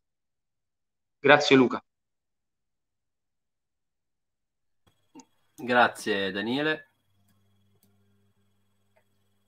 Posso due piccole considerazioni, poi eh, vediamo se, se c'è eh, qualche altra riflessione. Un secondo. Ecco qui. Allora, io ringrazio, ringrazio tutti. Eh, due veloci, non voglio rubarvi tempo anche perché la diretta è stata lunga, eh, giustamente. Quindi il contesto, secondo me, eh, è importante considerare il contesto in cui eh, bisogna collocare eh, la figura e la dottrina di, di, Giordano Bruno. Perché ancora oggi, questa è una domanda uh, uh, che, che, è giusto porsi dal mio punto di vista, c'è tanta ostilità nei confronti di, di, di Bruno, non solo in ambito eh, ecclesiastico, eh, ma c'è una, una difficoltà nel, nel, nella comprensione della, della figura e, e, e, della dottrina. Io credo che eh, uno dei, dei, eh, degli elementi importanti, assolutamente innovativi, no? eh, che Bruno pone in essere è il ritorno non all'antico, ma il ritorno al primordiale. E quindi lo pone in una condizione che non è legata all'antico e al moderno, eh, lo pone in una condizione di eterna, di eterna attualità. Eh, il cosiddetto, perché un cosiddetto eh, panteismo di Bruno, quando nel, nella, eh, nello spaccio della bessa trionfante ci ripete natura est deus in rebus, no? Eh, quindi nella natura è incarnata la presenza del, del, del, del luminoso. Beh, non è una bestemmia nei confronti eh, del, della religione eh, rivelata, è semplicemente una constatazione di, della grande tradizione, per esempio, eh, platonica o della grande tradizione ermetica, noi eh, possiamo immaginare la figura del serpente euroborico, no? il famoso entopan, l'uno il tutto, il tutto è l'uno, no? in cui non c'è una separazione. Lo ripete anche Hegel nella sua eh, filosofia, magari non completamente consapevole del concetto, del concetto dell'intero e eh, c'è, questa, eh, c'è, questa, c'è questa dimensione, c'è la dimensione dell'emanazione del divino, no? di, una, di un divino che si esplica nel, nel, nel, mondo per riconoscere se stesso. Questo è un processo di catabasi, anabasi che noi ritroviamo nei testi del, del, del neoplatonismo, ma che non è confinata eh, questa, questa concezione semplicemente nel mondo antico. Nella Napoli, per esempio, eh, del, del, Rinascimento, del primo umanesimo, troviamo la concezione naturalistica di un Giovanni Pontano, no? eh, che è una concezione naturalistica non intesa con l'accezione moderna del termine. Parliamo di una natura vivente, di una natura naturante, no? non di una natura naturata, cioè morta, distaccata l'uomo si pone in quel contesto, secondo uh, la dottrina bruniana, ma secondo tutta la tradizione esoterica uh, napoletana, o uh, Stefano giustamente parlava di, di, Tommaso Campanella, che è un calabrese, no? nato a, a, a Stilo, ma noi in Telesio, per esempio, ritroviamo concezioni, concezioni molto, molto, molto simili, quando anche nel eh, nel XIX secolo, no, vari autori, voi avete trovato, citato, citato Kremers, ma non solo Kremers, eh, parlano di, di, quasi di materialismo, no? nel senso eh, non di, di, di, materia inerte. Poi la scienza eh, moderna, la scienza quantistica, ci ha spiegato che anche la dimensione minerale è una dimensione vivente, non esiste la materia eh, inorganica, è tutta una concezione eh, organica, pensiamo anche alla, alla, alla cora di, di, di, Platone, errano per esempio coloro che, che, che erroneamente concepiscono eh, Platone un antesignano di, di Sant'Agostino, è esattamente come dire, il, il contrario, è il superamento della dimensione, eh, della dimensione, della dimensione dualistica, è la concezione di un uomo che non è più succube e distante nei confronti del luminoso, ma orficamente partecipa al luminoso. È inquadrato armonic- armonicamente nel luminoso e quindi nel, nel, nella natura. D'altronde, anche, e poi passo la parola a, a voi, anche nelle concezioni eh, della fisica quantistica, no? Eh, se voi pensate alla, come dire, alla famosa legge di conservazione della, della massa di Lavoisier, no? Cioè, che cosa ci dice? Nulla si crea, nulla si distrugge, tutto si trasforma. e quindi non c'è una separazione all'interno del, del, del processo cosmologico, non c'è eh, un qualcosa che, che, che, nasce l'ex nilo, cioè che nasce da, da, da, da qualcosa che, non, che, è indefinito, eh, come dire, precedentemente, ma è una continua trasformazione. Come è il pensiero dell'uomo, è una continua trasformazione. Come la materia eh, adoperata dal, da, dagli alchimisti, è una continua trasformazione, è un continuo lavacro eh, di, di, di, se stessi. Quindi è una prospettiva che è completamente, completamente, completamente diversa. È una prospettiva che è una prospettiva assolutamente, se ci pensate, innovativa. Forse eh, la professoressa eh, Clementina Gidiri aveva, cioè, ha, ci ha visto giusto nel senso che ha detto questa è una prospettiva che eh, non vincola l'uomo alle situazioni contingenti, ma gli dà la possibilità volitiva eh, quasi, eh, come dire, eh, mercuriale, no? Di essere così labile, di essere così eh, intuitiva eh, da permettere di cangiare, no? di cambiare ogni situazione a proprio vantaggio, proprio perché eh, eh, c'è questa capacità, questa autocoscienza, questa presenza uh, a noi stessi. Io credo che nel mondo attuale, ma soprattutto nella situazione storica contingente che vive Bruno, questa autonomia, quest'uomo che eh, si alza dalla preghiera del mistico per, come dire, per pregare oppure per invocare, eh, noi oggi su Facebook abbiamo messo una bellissima eh, citazione ad Apollo di, di Giordano Bruno, eh, il luminoso con lo sguardo sereno e fiero di chi è in una condizione e termino non di sudditanza del divino, ma di filia, diceva, dicevano i neoplatonici, di comunanza. Va bene, io vi metto, ci mettiamo tutti in... Ecco qui. Se qualcuno vuole aggiungere qualcosa, così ah, poi ci avviamo al, al termine. Io volevo dire soltanto una cosa Prego. a proposito di questo termine che torna sempre di panteismo di Bruno, anima mundi, sono concetti fondamentali. In effetti lui non è un pensatore dell'antico perché eh, diciamo lui è quello che ha sviluppato eh, il principio di Copernico, che però era un'ipotesi matematica, eh, l'ha sviluppata in una nuova metafisica. E questa nuova metafisica l'ha creata fondendo insieme tutto quello che aveva appreso appunto con questa sua memoria futura, questa sua capacità di memoria, ha in un certo senso eh, tratto il frutto del Cinquecento tutto, ma anche il Cinquecento degli artisti.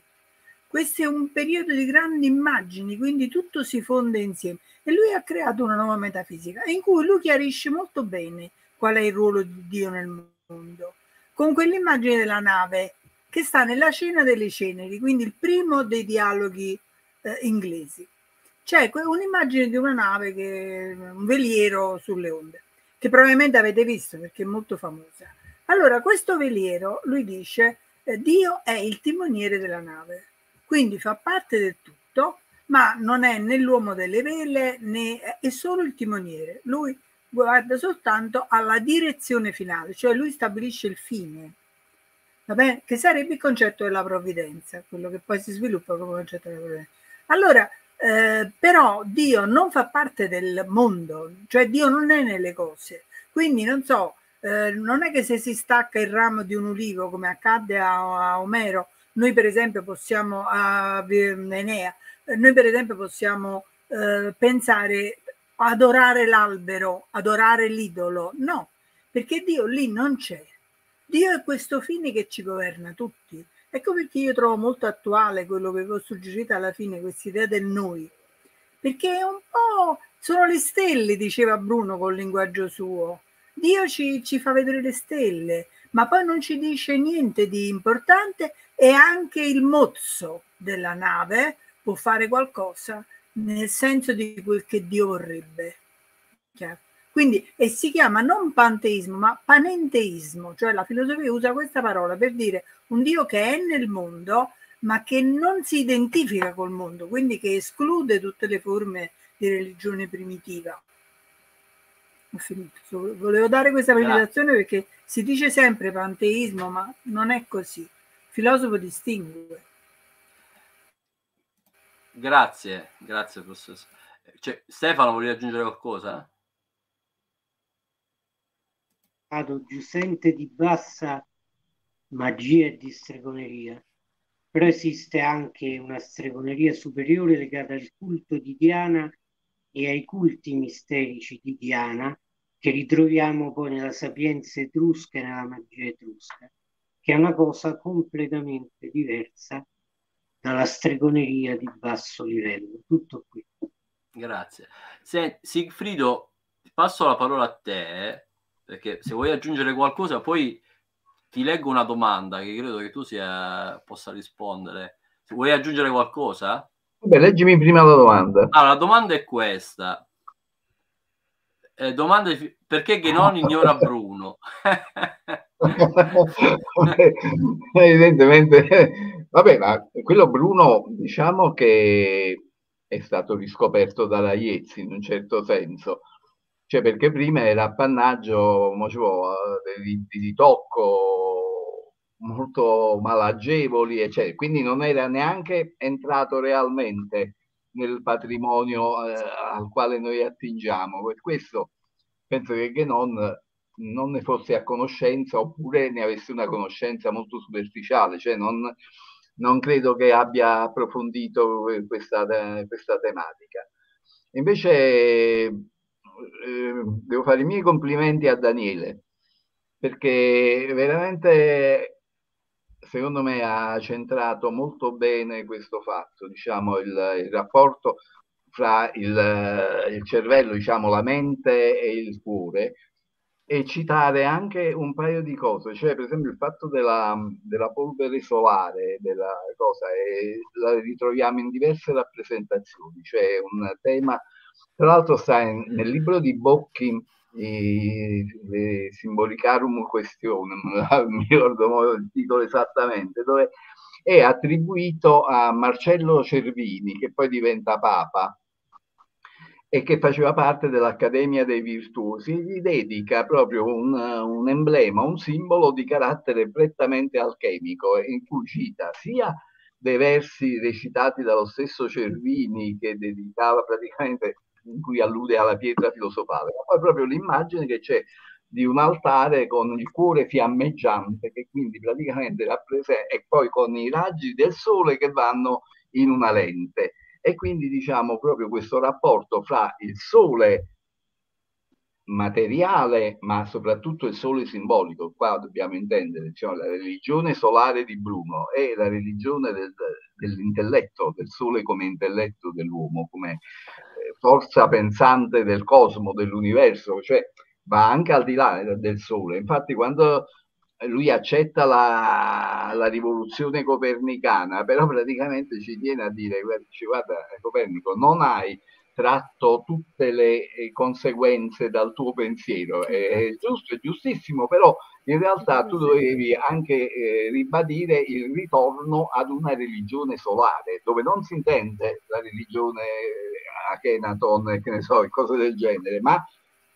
del sole intellettivo, del sole interno, cosa che tra l'altro anche nella tradizione dei domenicani non è che fosse assente, perché quando si rappresenta San Domenico col sole in petto, sostanzialmente si vuole dire questo, e anche quando si rappresenta il Sacro Cuore di Gesù, no? col cuore fiammeggiante, sempre questo, a questo si allude. Solo che ovviamente la religione di Bruno era eversiva perché praticamente faceva a meno della religione e quindi era anche molto pericoloso per quello che era l'assetto delle cose, l'assetto politico e non a caso poi Bruno diventa l'ispiratore del, dei movimenti successivi, dei movimenti eh, liberali, diciamo che vanno sotto l'insegna dei Rosacroce, ma anche al di là.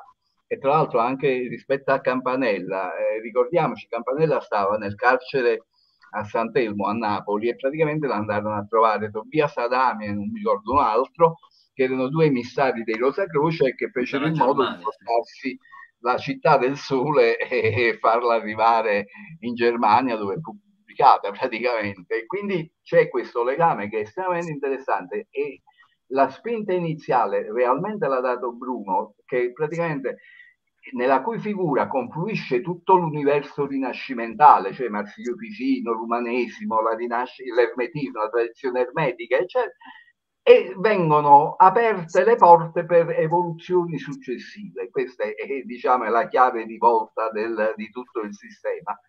E, e, diciamo, era anche molto giusto il modo un'epoca di cambiamento, cioè il rogo di Giordano Bruno 1600 segna la fine di un'epoca e l'inizio di un'altra, molto difficile ed è analoga, e su questo sono d'accordo, insomma, a un momento di grandi cambiamenti come anche quello in cui stiamo vivendo noi, in cui ancora non è chiaro, cioè non abbiamo un Giordano Bruno che ci possa illuminare in questo momento, ma è proprio quello che ci servirebbe. Grazie, grazie. Daniele, volevi aggiungere qualcosa? Il microfono. Il microfono. Ok, Niente, Vai. dicevo, Platone eh, diceva conoscere e ricordare. Eh, questo secondo me è il significato più profondo dell'arte della memoria. Non semplicemente ricordare le parti di un discorso appreso, ma immergersi nelle profondità della propria anima che è l'anima del mondo.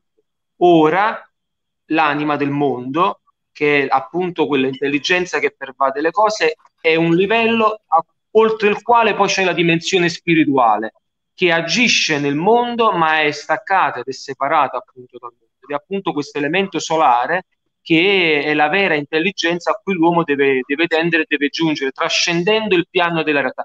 Tra l'altro è proprio l'immagine che tu hai messo anche nella copertina, diciamo, di questa, di questa serata.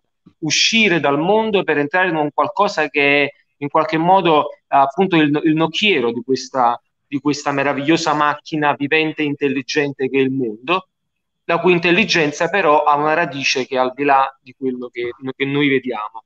Poi, d'altronde, la tradizione classica che cosa insegna? La distinzione tra gli dei cosmici e i dei encosmici, no?